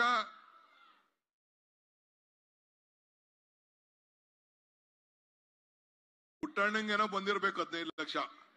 ಯಾಕೆಂದ್ರೆ ಬಿಜೆಪಿ ಜೊತೆ ಒಂದಷ್ಟು ದಿನ ಇದ್ದ. ಪುಟ್ಟಣ್ಣ, ನಿನ್ಗೇನೋ ಬಂತ? ಏನಿಲ್ಲ. ಸಾತಾಲಿ ಕಾರಣಕ್ಕಂತೂ ಏನು ಬರ್ಲಿಲ್ಲ ಬಿಡಿ. ಆ, ಏನು ಬರ್ಲಿಲ್ಲ ಪುಟ್ಟಣ್ಣಗಂದು ಬರ್ಲಿಲ್ಲ. ನಿಮ್ಗೆ ಯಾರಿಗಾರು ಸಿಕ್ತಾ? ಓಲಿ ನಾವೆಲ್ಲ ರೈತಿದ್ದೀವಿ. ಎಷ್ಟು ಜನ ರೈತರಿದ್ದೀವಿ ನಮ್ಮ ಆದಾಯ ಏನಾರು ಡಬಲ್ ಆಯ್ತಾ? ಯಾರಿಗಾರು ಡಬಲ್ ಈ ಬಿಜೆಪಿ ಸರ್ಕಾರ ಇತ್ತು. ಏನಾರು ಡಬಲ್ ಆಯ್ತಾ? ರೈತರಿಗೆ ಓಲಿ ಏನಾರು ಉದ್ಯೋಗ ಬಂತ? ಏನಿಲ್ಲ. ಇವತ್ತು ನಾವು ಚುನಾವಣಾ ಮುಂಚಿತವಾಗಿ, ನಾನು ಮತ್ತು ಸಿದ್ದರಾಮಯ್ಯನವರು ಇಬ್ರು ಪ್ರವಾಸ ಮಾಡ್ದು ಇವತ್ತು ವೇದಿಕೆ ಮೇಲೆ ನಮ್ಮ ಭಾರತೀಯ ರಾಷ್ಟ್ರೀಯ ಕಾಂಗ್ರೆಸ್ ಅಧ್ಯಕ್ಷ ಅಂತ ಮಲ್ಲಿಕಾರ್ಜುನ್ ಖರ್ಗೆ ಸಾಹೇಬ್ರಿದ್ದಾರೆ ಒಬ್ಬ ಬ್ಲಾಕ್ ಕಾಂಗ್ರೆಸ್ ಅಧ್ಯಕ್ಷರಾಗಿದ್ದವರು. ಅಧ್ಯಕ್ಷರಾಗಿ ಗುಲ್ಬರ್ಗದಲ್ಲಿ ಕೌನ್ಸಿಲರ್ ಆಗಿದ್ಕೊಂಡು ಇವತ್ತು ಎಐಸಿಸಿ ಅಧ್ಯಕ್ಷರು ಶ್ರೀ ಮಹಾತ್ಮ ಗಾಂಧೀಜಿಯವರು ಕೂತಂತ ಜಾಗದಲ್ಲಿ, ಇಂದಿರಾ ಗಾಂಧಿಯವರು ಕೂತಂತ ಜಾಗದಲ್ಲಿ, ಪಂಡಿತ್ ನೆಹರು ಅವರು ಕೂತಂತ ಜಾಗದಲ್ಲಿ ಇವತ್ತು ಮಲ್ಲಿಕಾರ್ಜುನ್ ಖರ್ಗೆ ಅವರು ಇವತ್ತು ಆ ಸ್ಥಾನದಲ್ಲಿ ಇವತ್ತು ಕೂತಿದ್ದಾರೆ. ನಾನು ಅವರ ಸಮ್ಮುಖದಲ್ಲಿ ಈ ವಿಚಾರವನ್ನ ತಮ್ಗೆ ನಾನು ಹೇಳ್ತಾ ಇದ್ದೇನೆ. ಅವರು ಈ ದೇಶಕ್ಕೆ ಒಂದು ದೊಡ್ಡ ಆಸ್ತಿ, ಕರ್ನಾಟಕದ ಆಸ್ತಿ ಅಲ್ಲ. ಒಂದು ಪಕ್ಷಕ್ಕೆ ಒಂದು ಶಿಸ್ತಿನ ಸಿಪಾಯಿ ಅಂತ ಹೇಳಿದ್ರೆ ಅವ್ರು ಯಾವ ಅಧಿಕಾರನೂ ಹುಡಿಕೊಂಡು ಹೋಗಿರ್ಲಿಲ್ಲ. ಪಕ್ಷ ಏನ್ ಕೊಡ್ತೋ ಆ ಜವಾಬ್ದಾರಿನ ಇವತ್ತು ಅವರು ವಹಿಸ್ಕೊಂಡು ಇವತ್ತು ಹೋಗ್ತಾ ಇದ್ದಾರೆ. ಇವತ್ತು ನಮ್ಮ ತಾಲೂಕಿಗೆ ಬಂದು ನಾನು ಕೇಳಿದ್ರು, ಏನಾಯ್ತು ಮಳವಳ್ಳಿ, ಏನಾಯ್ತು ಚನ್ನಪಟ್ಟಣ ಅಂತೇಳಿ. ನಾನು ನಮ್ಗೆ ಹೆಚ್ಚಿಗೆ ಓಟ್ ಬರ್ಲಿಲ್ಲ. ಆದ್ರೆ ಆ ಜನಕ್ಕೆ ನಮ್ಮ ಮೇಲೆ ಪ್ರೀತಿ ಇದೆ. ಕಳೆದ ವಿಧಾನಸಭೆಯಲ್ಲಿ ಆಗ್ಲಿಲ್ಲ. ನಮ್ಮವರೆಲ್ಲ ಬಹಳ ಜನ ಬಿಜೆಪಿಗೆ ಹೋಗಿ ಮಧ್ಯ ಕ್ಯಾಂಡಿಡೇಟ್ ವಿಚಾರದಲ್ಲಿ ಎಲ್ಲ ಸೇರ್ಕೊಂಡ್ರು ಅಂತ ಹೇಳಿ ಅವ್ರಿಗೆ ಬಿಡಿಸಿ ಹೇಳಿದೆ. ಆದ್ರೆ ಅವ್ರಿಗೆ ವ್ಯಕ್ತಪಡಿಸಿದ್ದೇನೆ. ನೀವೆಲ್ಲ ಸೇರಿ ನಮ್ಮ ಕೈಯನ್ನ ಬಲಪಡಿಸಿರಿ. ಡಿ ಕೆ ಸುರೇಶ್ ಅವರು ಮಾಡಿದಂತ ಕೆಲಸ ಕಾರ್ಯಗಳಿಗೆ ತಾವು ಖಂಡಿತ ಆಶೀರ್ವಾದ ಮಾಡೇ ಮಾಡ್ತೀರಿ ಎಂದು ವಿಶ್ವಾಸವನ್ನ ನಿಮ್ಮೆಲ್ಲರ ಪರವಾಗಿ ನಾನು ವ್ಯಕ್ತಪಡಿಸಿದ್ದೇನೆ. ಬಂಧುಗಳೇ, ನಾನು ಕೇಳೋದಿಷ್ಟೇ ಇವತ್ತು ಡಿ ಕೆ ಸುರೇಶ್ ಅವರು ಈ ವೇದಿಕೆಗೆ ನಾವು ಕರೆಸಲಿಲ್ಲ. ಕಾರಣ ಈ ಎಲೆಕ್ಷನ್ ಕಮಿಷನ್ ಅವರು ಎಲ್ಲ ಈ ಅಕೌಂಟ್ ಎಲ್ಲ ಅವ್ರ ಅಕೌಂಟ್ ಬರೆದು ಬಿಟ್ಟಿದ್ದಾರೆ ಈಗಾಗಲೇ ಜನತೆ ಬಿಜೆಪಿ ಅಭ್ಯರ್ಥಿ ಜಾಸ್ತಿ ಬರಲಿಲ್ಲ. ರಾಮನಗರದಲ್ಲಿ ದೊಡ್ಡ ಪೆಂಡಾಲ್ ಹಾಕಿರೋ ಅದಕ್ಕೆ ಲೆಕ್ಕಕ್ಕೆ ಬರೀಲಿಲ್ಲ. ನಮ್ಮ ಅಕೌಂಟ್ಗೆಲ್ಲ ಬರೀತಾರೆ. ನಾನು ಅದಕ್ಕೆ ಈಗ ಮಾತಾಡೋದು ಬೇಡ ಅಂತೇಳಿ ಅವ್ರನ್ನ ಇಲ್ಲಿಗೆ ಆಹ್ವಾನಿಸಿಲ್ಲ. ನಾವೇ ಅವ್ರ ಪರವಾಗಿ ನಾನು ಖರ್ಗೆ ಸಾಹೇಬರು ನಮ್ಮ ಲೀಡರ್ಗಳೆಲ್ಲ ಮಾತಾಡ್ತಾ ಇದ್ದೀವಿ. ಇವತ್ತು ಒಂದು ಇತಿಹಾಸ. ಸುರೇಶ್ ಅವರು ಅವರು ಸಂಸತ್ ಸದಸ್ಯರಾದ ಮೇಲೆ ಅವರ ಲೋಕಸಭಾ ಕ್ಷೇತ್ರದಲ್ಲಿ ಸುಮಾರು ನಾನೂರಕ್ಕೂ ಹೆಚ್ಚು ಶುದ್ಧ ಘಟಕ ನೀರು ಇವತ್ತಲ್ಲ ಹತ್ತು ವರ್ಷದಿಂದ ಮಾಡ್ಕೊಂಡು ಬರ್ತಾ ಇದ್ದಾರೆ. ಇಡೀ ನಾನು ಹೇಳ್ತಾ ಇದ್ದೇನೆ, ಭಾರತದ ಇತಿಹಾಸದಲ್ಲಿ, ಯಾವ್ದಾದ್ರು ಲೋಕಸಭಾ ಕ್ಷೇತ್ರದಲ್ಲಿ ನಾನೂರಕ್ಕೂ ಹೆಚ್ಚು ಶುದ್ಧ ಘಟಕ ನೀರು ಎಲ್ಲಾರು ಆಗಿತ್ತು ಅಂತ ಅಂದ್ರೆ, ನಮ್ಮ ಟ್ರಸ್ಟ್ ಇಂದ ಆಗಿತ್ತು ಅಂದ್ರೆ, ಸರ್ಕಾರದಿಂದ ಆಗಿತ್ತು ಅಂದ್ರೆ ಬರೀ ಬೆಂಗಳೂರು ಗ್ರಾಮಾಂತರ ಕ್ಷೇತ್ರದಲ್ಲಿ ಮಾತ್ರ ಅನ್ನೋದ ಮಾತನ್ನ ಯಾರು ಕೂಡ ತಳ್ಳಾಕ್ಲಿಕ್ಕೆ ಸಾಧ್ಯ ಇಲ್ಲ. ಇವತ್ತು ಕೆ ಬಿ ಸ್ಟೇಷನ್ ನಾನು ಕೆ ಬಿ ಮಂತ್ರಿ ಪವರ್ ಮಂತ್ರಿ ಆಗಿದ್ದೆ. ಬಹುಶಃ ನಿಮ್ಮ ಜಿಲ್ಲೆಗೆ, ನಾನು ಈಗ ತಾನೇ ಇಲ್ಲಿಗೆ ಬರ್ಬೇಕಾದ್ರೆ ಈ ಕಂಬಗಳನ್ನ ನಾನು ಖರ್ಗೆ ಸಾಹೇಬ್ರಿಗೆ ತೋರಿಸ್ತಾ ಇದ್ದೆ. ಇಡೀ ದೇಶಕ್ಕೆ ಈ ಮಾದರಿ, ಇದು ಮಾದರಿ. ಇಡೀ ನಮ್ಮ ರೈತರ ಕುಟುಂಬಕ್ಕೆ, ರೈತರ ಸಮುದಾಯಕ್ಕೆ, ಇಡೀ ಕರ್ನಾಟಕ ರಾಜ್ಯದಲ್ಲಿ ಯಾವ ತಾಲೂಕಿನಲ್ಲೂ ಇಲ್ಲ, ಯಾವ ಕ್ಷೇತ್ರದೂ ಇಲ್ಲ. ಒಬ್ಬ ರೈತನಿಗೆ ಒಂದು ಟ್ರಾನ್ಸ್ಫಾರ್ಮರ್, ಇಬ್ರು ರೈತರಿಗೆ ಒಂದು transformer, high voltage distribution scheme ಅನ್ನು ಮಾಡಿ, ಇಡೀ ದೇಶಕ್ಕೆ ಮಾದರಿ ಕ್ಷೇತ್ರ ಯಾವ್ದಾರು ಇತ್ತು ಅಂದ್ರೆ ಅದು ಬೆಂಗಳೂರು ಗ್ರಾಮಾಂತರ ಕ್ಷೇತ್ರ. ಇದಕ್ಕೆ ಡಿ ಕೆ ಸುರೇಶ್ ಕಾರಣ ಅನ್ನೋದನ್ನ ನನಗೆ ಹೇಳಲಿಕ್ಕೆ ಬಹಳ ಸಂತೋಷ ಆಗ್ತದೆ. ಇವತ್ತು ಎಷ್ಟು, ಎಷ್ಟೋ ಸ್ಟೇಷನ್ಗಳು, ಕೆ ಬಿ ಸ್ಟೇಷನ್ಗಳು ಇವ್ ಅರವತ್ತಾರು ಇನ್ನೂರ ಇಪ್ಪತ್ತು ಸ್ಟೇಷನ್ಗಳು, ಒಂದು ಹತ್ತು ಸ್ಟೇಷನ್ಗಳು ಇವತ್ತು ಚನ್ನಪಟ್ಟಣಕ್ಕೆ ಆಗಿದೆ. ಇವತ್ತು ಸತ್ಯಗಾಲದಿಂದ ಇವತ್ತು ಸತ್ಯಗಾಲದಿಂದ ನೀರನ್ನ ಒದಗಿಸ್ಕೊಳ್ಳುವಂಥದ್ದು. ಯಾರು ಕುಮಾರಸ್ವಾಮಿ ನೋಡಿದ್ರ ಸತ್ಯಗಾಲನ? ಯೋಗೇಶ್ ನೋಡಿದ್ರಾ? ಇವತ್ತು ಸುರೇಶ್ ಅವರು ನನ್ನನ್ನ ಉಪಯೋಗಿಸ್ಕೊಂಡು ಸಿದ್ದರಾಮಯ್ಯ ಸರ್ಕಾರ ಉಪಯೋಗಿಸ್ಕೊಂಡು, ಇವತ್ತು ಅಂತ ಒಂದು ದೊಡ್ಡ ನೀರಿನ ಭಾವನೆಯನ್ನ ತಪ್ಪಿಸ್ಲಿಕ್ಕೆ ಒಂದು ದೊಡ್ಡ ಪ್ರಯತ್ನವನ್ನ ಮಾಡಿದ್ದಾರೆ. ಇದಲ್ಲದೆ ಕಣ್ವ ಜೀವ ನದಿ ಆಗ್ಬೇಕು ಅನ್ನೋ ದೃಷ್ಟಿಯಿಂದ ಅನೇಕ ಅಭಿವೃದ್ಧಿ ಕೆಲಸವನ್ನ ಇವತ್ತು ಅವರು ಮಾಡ್ಕೊಂಡು ಬಂದಿದ್ದಾರೆ. ನಾನು ಒಂದೇ ಒಂದು ಮಾತು ಹೇಳಲಿಕ್ಕೆ ನಾನು ಬಯಸ್ತಾ ಇದ್ದೀನಿ. ಕುಮಾರಸ್ವಾಮಿಗೆ, ಯೋಗೇಶ್ಗೆ. ಎಲ್ಲಿ ಹೋಗಿದ್ರಿ ನೀವು? ಎಲ್ಲಿ ಕೊರೋನಾ ಬಂದಾಗ ಏನಾಗಿತ್ತು ನಿಮ್ಗೆ? ಮನೆಯಿಂದ ಈಚೆ ಬರ್ಲಿಲ್ಲ, ಒಬ್ರು ರಕ್ಷಣೆಗೆ ಬರ್ಲಿಲ್ಲ. ಆರೆ ಡಿ ಕೆ ಸುರೇಶ್, ಮನ ಮನೆಗೂ ಔಷಧಿ, ಮನ ಮನೆಗೂ ಸ್ಯಾನಿಟೈಸರ್, ಮನ ಮನೆಗೂ ಫುಡ್ ಕಿಟ್ಟು, ಎಲ್ಲ ಬಡವರ ಪರವಾಗಿ ನಿಂತ್ಕೊಂಡು ಕೊನೆಗೆ ಔಷಧಿ, ಊಟ ಎಲ್ಲ ಕೊಟ್ಟು ಸ್ಮಶಾನಕ್ಕೆ ಹೋಗಿ ಇವತ್ತು ಸ್ಮಶಾನದಲ್ಲಿ ಎಣಗುಣ ಅಂತ ಕೆಲಸ ಕೂಡ ಡಿ ಕೆ ಸುರೇಶ್ ಮಾಡೋದನ್ನ ಯಾರು ಕೂಡ ಇತಿಹಾಸನ ಬದಲಾವಣೆ ಮಾಡ್ಲಿಕ್ಕೆ ಸಾಧ್ಯ ಇಲ್ಲ.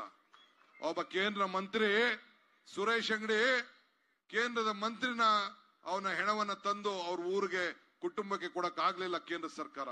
ಆದ್ರೆ ಸುರೇಶ್ ಅವರು ಇವತ್ತು ಪ್ರತಿಯೊಂದು ಕುಟುಂಬಕ್ಕೂ ಕೂಡ ಸಾಂತನ ಹೇಳಿ ಮನೆ ಮನೆಗೂ ಹೋಗಿ ಆ ಹೆಣಗಳನ್ನ ಉಣ್ದಂತ ಒಂದು ದೊಡ್ಡ ಕೆಲಸವನ್ನ ಮಾಡಿದ್ದು ಇವತ್ತು ಇಡೀ ದೇಶ ಅದನ್ನ ಗಮನಿಸ್ತಾ ಇದೆ.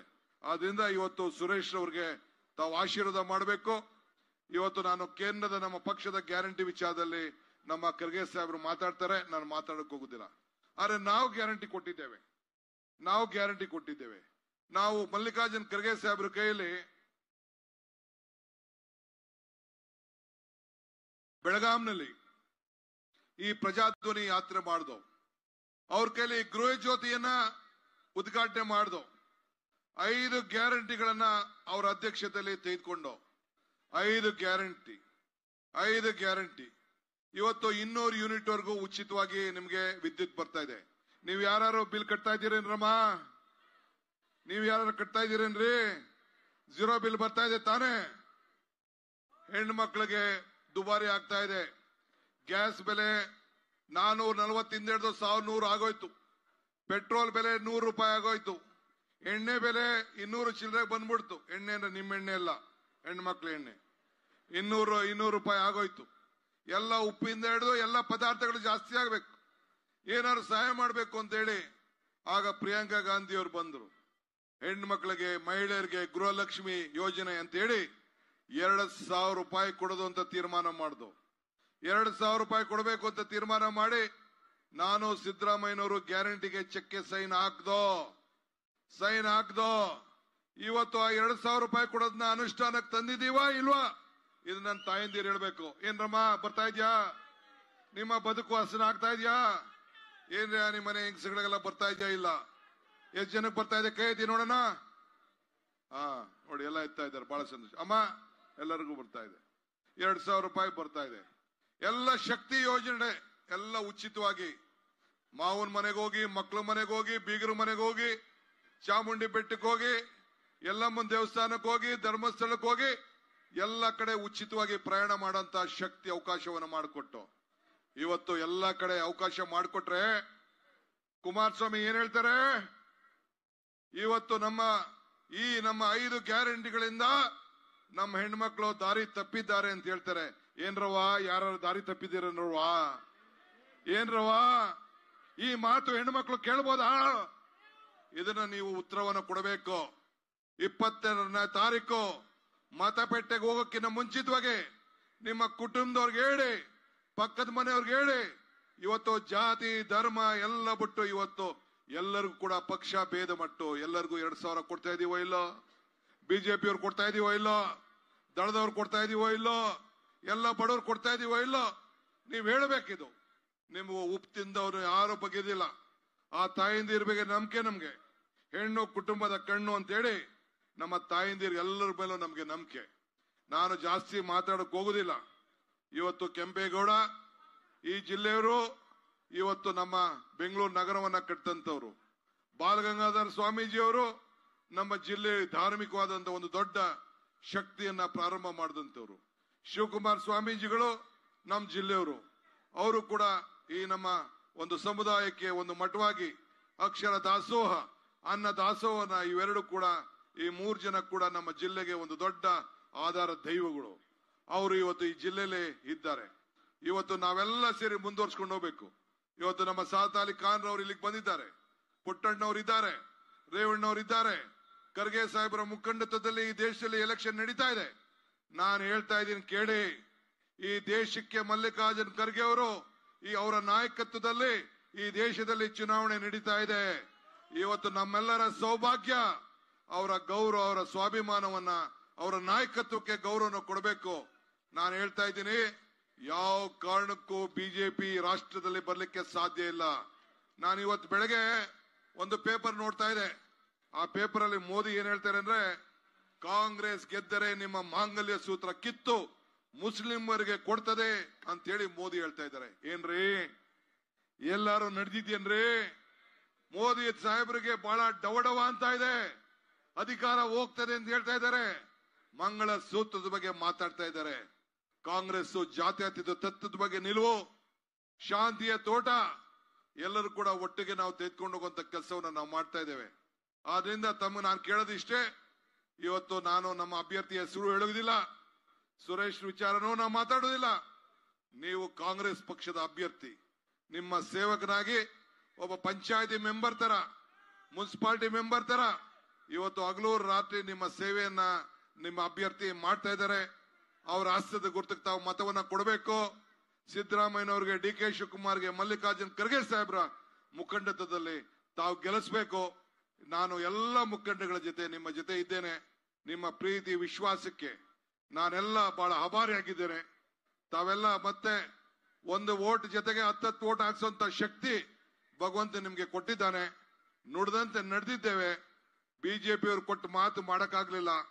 ಕುಮಾರಸ್ವಾಮಿ ಕೂಡ ಒಂದು, ಈ ಜಿಲ್ಲೆಯಲ್ಲಿ ಒಂದು ಸಾಕ್ಷಿ ಗುಡ್ಡೆ ಹೇಳಿ ನಿಮ್ಮ ಎಲ್ಲ ಮನೆ ಬೆಳಗಲಿಕ್ಕೆ ನಾವು ಉಚಿತವಾಗಿ ಕರೆಂಟ್ ಕೊಟ್ಟಿದ್ದೇವೆ. ಉಚಿತವಾಗಿ ಟ್ರಾನ್ಸ್ಫಾರ್ಮರ್ ಕೊಟ್ಟಿದ್ದೇವೆ, ನಿಮ್ಮ ನದಿಗಳಿಗೆ ಜೀವ ಕೊಟ್ಟಿದ್ದೇವೆ, ಇಂಥದ್ ಒಂದು ಕೆಲಸ.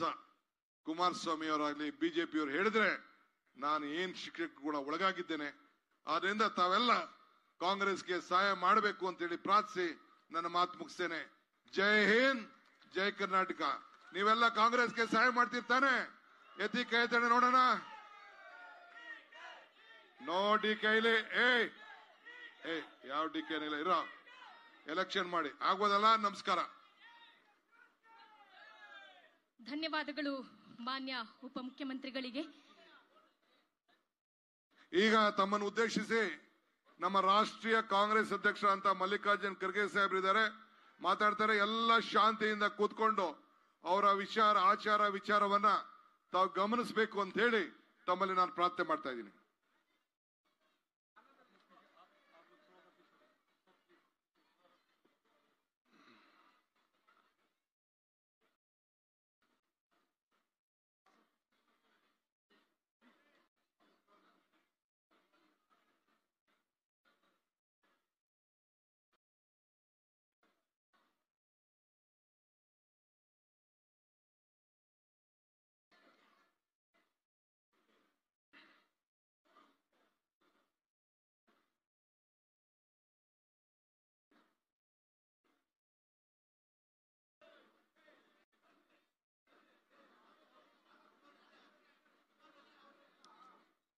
ಇಂದಿನ ಚುನಾವಣಾ ಪ್ರಚಾರದಲ್ಲಿ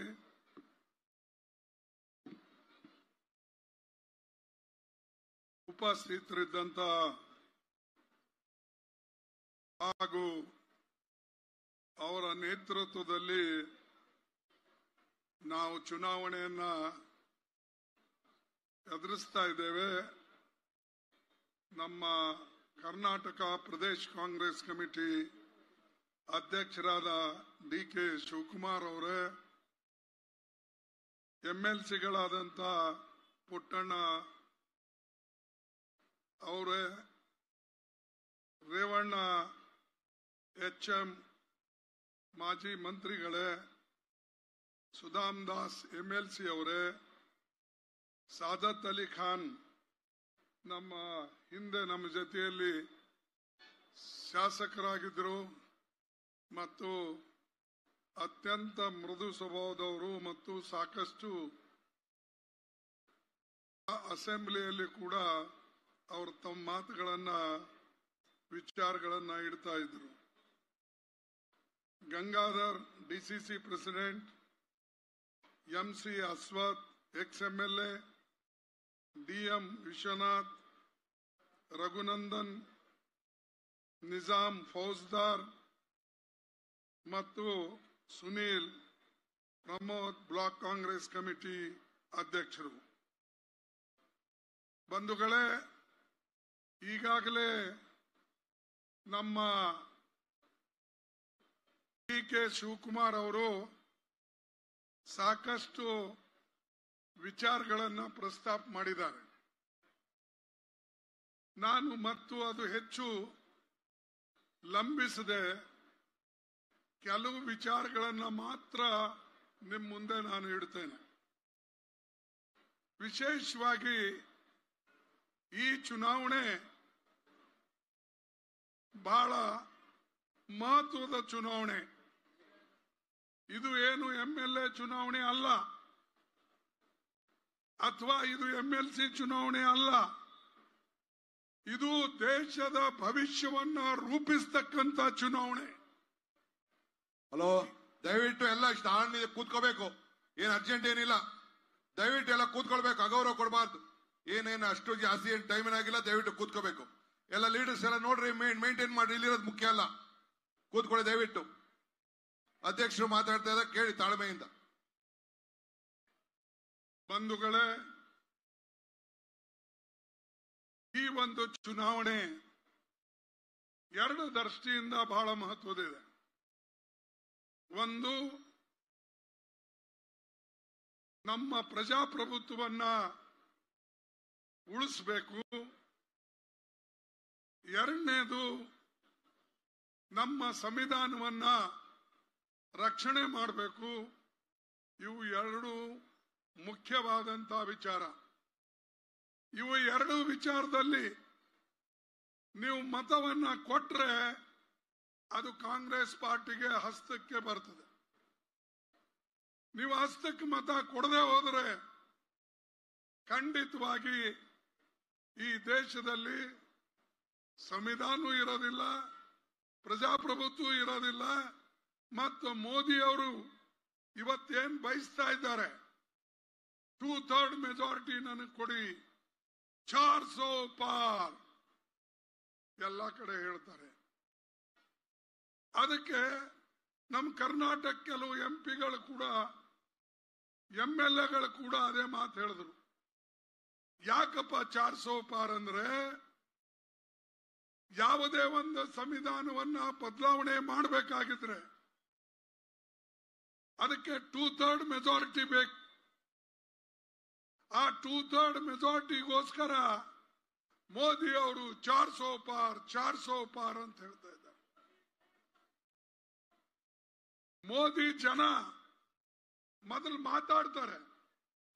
ಅವ್ರ ಲೀಡರ್ಸ್ ಮಾತಾಡ್ತಾರೆ. ಆಮೇಲೆ ಮೋದಿ ಅವರು ಅದಕ್ಕೆ ಇಲ್ಲ ಅಂತದೇನಿಲ್ಲ, ಅದು ಎಲ್ಲ ತಪ್ಪು ಅಂತ ಹೇಳ್ತಾರೆ.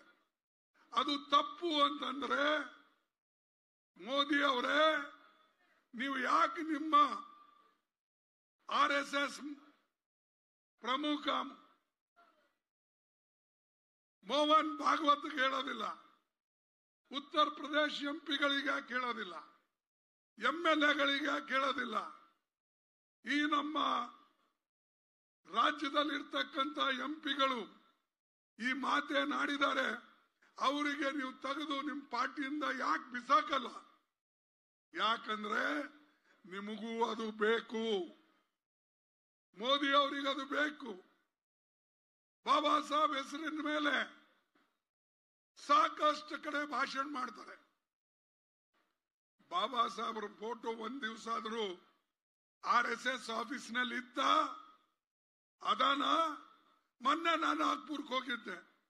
ಅಲ್ಲಿ ಚುನಾವಣೆ ಪ್ರಚಾರ ಇತ್ತು. ಹೇಳಿದ್ರೆ ಅವ್ರ ಆಫೀಸ್ನಾಗ ಬಾಬಾ ಸಾಹೇಬ್ ಅಂಬೇಡ್ಕರ್ ಫೋಟೋ ಹಚ್ಚಲ್ಲ. ಅಷ್ಟೇ ಅಲ್ಲ, ಈ ದೇಶದ ತ್ರಿವರ್ಣ, ನಮ್ಮ ತಿರಂಗ ಜಂಡ, ಅವ್ರ ಆಫೀಸ್ ಮೇಲೆ ಎಂದೂ ಕೂಡ ಆರ್ ಎಸ್ ಎಸ್ ದವರು ಹಾರಿಸೋದಿಲ್ಲ.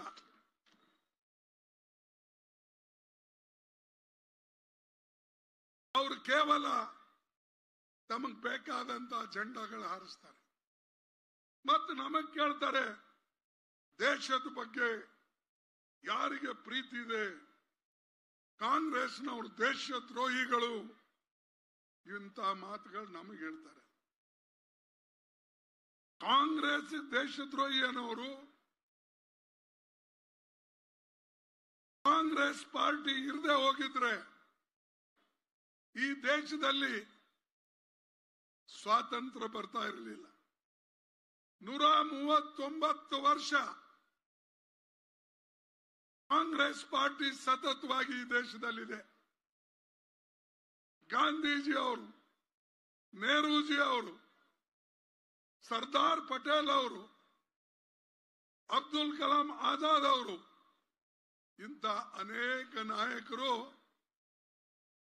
ಈ ದೇಶದ ಸ್ವಾತಂತ್ರ್ಯಕ್ಕಾಗಿ ಹೋರಾಟ ಮಾಡಿ ಇವತ್ತು ನಾವು ಪ್ರಜಾಪ್ರಭುತ್ವದಲ್ಲಿದ್ದೇವೆ. ಬಾಬಾ ಸಾಹೇಬ್ ಅಂಬೇಡ್ಕರ್ ಅವರಿಗೆ ಗಾಂಧೀಜಿ ಅವರು ಆಹ್ವಾನ ಮಾಡಿ ನೆಹರು ಅವ್ರನ್ನ ಒಪ್ಪಿಸಿ ಈ ದೇಶದ ಸಂವಿಧಾನವನ್ನ ಡಾಕ್ಟರ್ ಬಾಬಾ ಸಾಹೇಬ್ ಅಂಬೇಡ್ಕರ್ ಅವರೇ ಬರಿಬೇಕು ಅಂತ ಹೇಳಿ ಒತ್ತಾಯ ಮಾಡಿ ಅವರಿಗೆ ಡಾಕ್ಟರ್ ಅಂಬೇಡ್ಕರ್ ಅವರಿಗೆ ಸಂವಿಧಾನವನ್ನ ಬರ್ಸಕ್ಕೆ ಒಪ್ಪಿಸಿದ್ರು. ಆ ಸಂವಿಧಾನ ಪ್ರಕಾರ ಇವತ್ತು ನಾವು ನಡ್ಕೊಳ್ತಾ ಇದ್ದೇವೆ. ಆದರೆ ಇದು ಮೋದಿ ಅವರು ಒಪ್ತಾ ಇಲ್ಲ. ಮೋದಿ ಅವರಿಗೆ ಏನ್ ಬೇಕು? ಮೋದಿ ಅವರಿಗೆ ಬೇಕಾಗಿದ್ದು ಈ ದೇಶದಲ್ಲಿ ಸತತವಾಗಿ ಅವರೇ ಆಳ್ಬೇಕು. ಈಗ ಹತ್ತು ವರ್ಷ ಆಯ್ತು ಅವರು ಈ ದೇಶದಲ್ಲಿ ಪ್ರಧಾನಮಂತ್ರಿಯಾಗಿ. ನಾನು ಕೇಳ್ತಾ ಇದ್ದೇನೆ, ಪ್ರಧಾನಮಂತ್ರಿ ಆದ್ಮೇಲೆ ಅವರು ಕೊಟ್ಟಂತ ಮಾತುಗಳನ್ನ ಉಳಿಸ್ಕೊಂಡು ಬಂದಿದ್ದಾರ?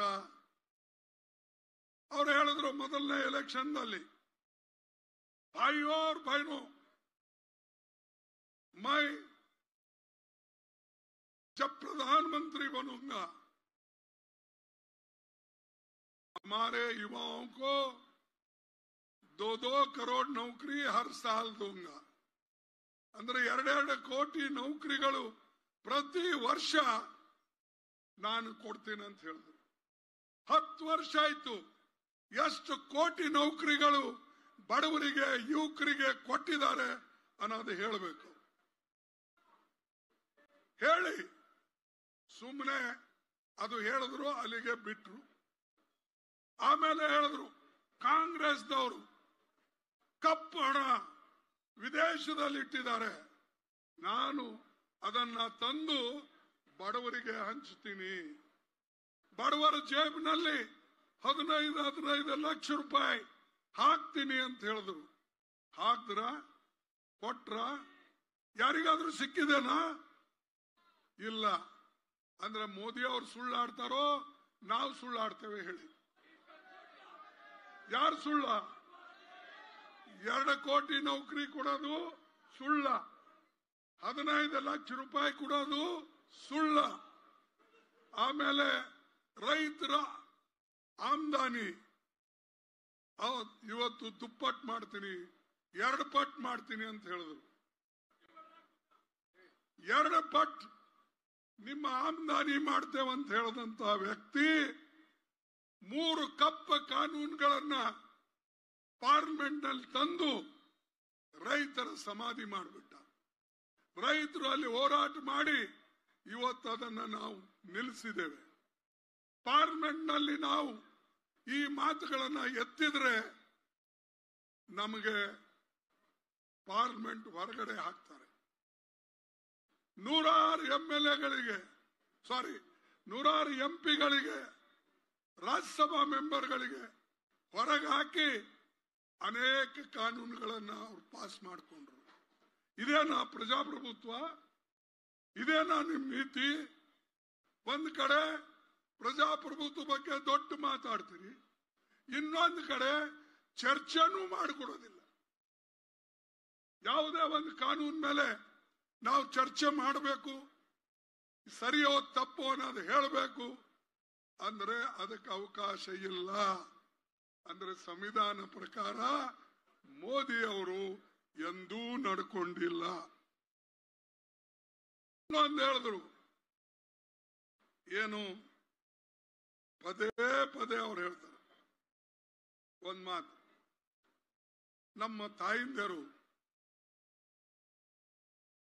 ಬಹಳ ಬಡವರು. ಅದು ಒಲೆ ಮುಂದೆ ಕುಂತ್ರೆ ಕಟ್ಗಿ ಹಾಕಿದಾಗ ಬೆಂಕಿ ಉರಿಸಿದಾಗ ಕುಳ್ಳ ಹಾಕಿ ಅಡಿಗೆ ಮಾಡುವಾಗ ಹೊಗೆಯಿಂದ ಅವ್ರ ಕಣ್ಣಲ್ಲಿ ನೀರು ಬರ್ತದೆ. ಅದಕ್ಕಾಗಿ ಅದು ನಾವು, ನಾನು ತಾಳಲಾರ್ದೆ, ಎಲ್ಲರಿಗೆ ನಾನು ಪುಕ್ಕಟ್ಟೆ ಎಲ್ ಪಿ ಜಿ ಸಿಲಿಂಡರ್ ಕೊಡ್ತೀನಿ ಅಂತ ಹೇಳಿದ್ರು.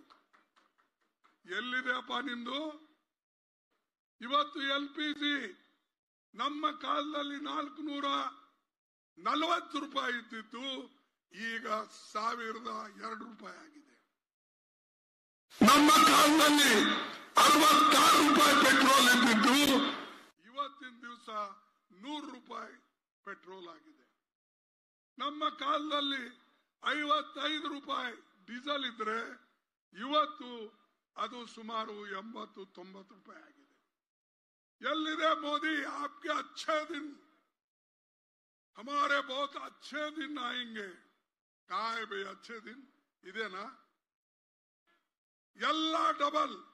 ನಿಮಗೊಂದು ಉದಾಹರಣೆ ಕೊಡ್ತೀನಿ. ಅದನ್ನ ಹೇಳ್ತೀನಿ. ಯಾವ ರೀತಿಯಾಗಿ ಏನಪ್ಪ.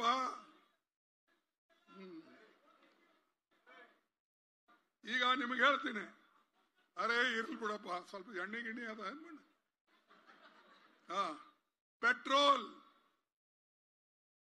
ಅರವತ್ತಾರು ರೂಪಾಯಿ ಎರಡು ಸಾವಿರ ಹದಿನಾಲ್ಕರಲ್ಲಿತ್ತು ಈಗ ಎರಡು ಸಾವಿರದ ಇಪ್ಪತ್ನಾಲ್ಕರಲ್ಲಿ ತೊಂಬತ್ತೇಳು ನೂರು ರೂಪಾಯಿ ಆಗಿದೆ.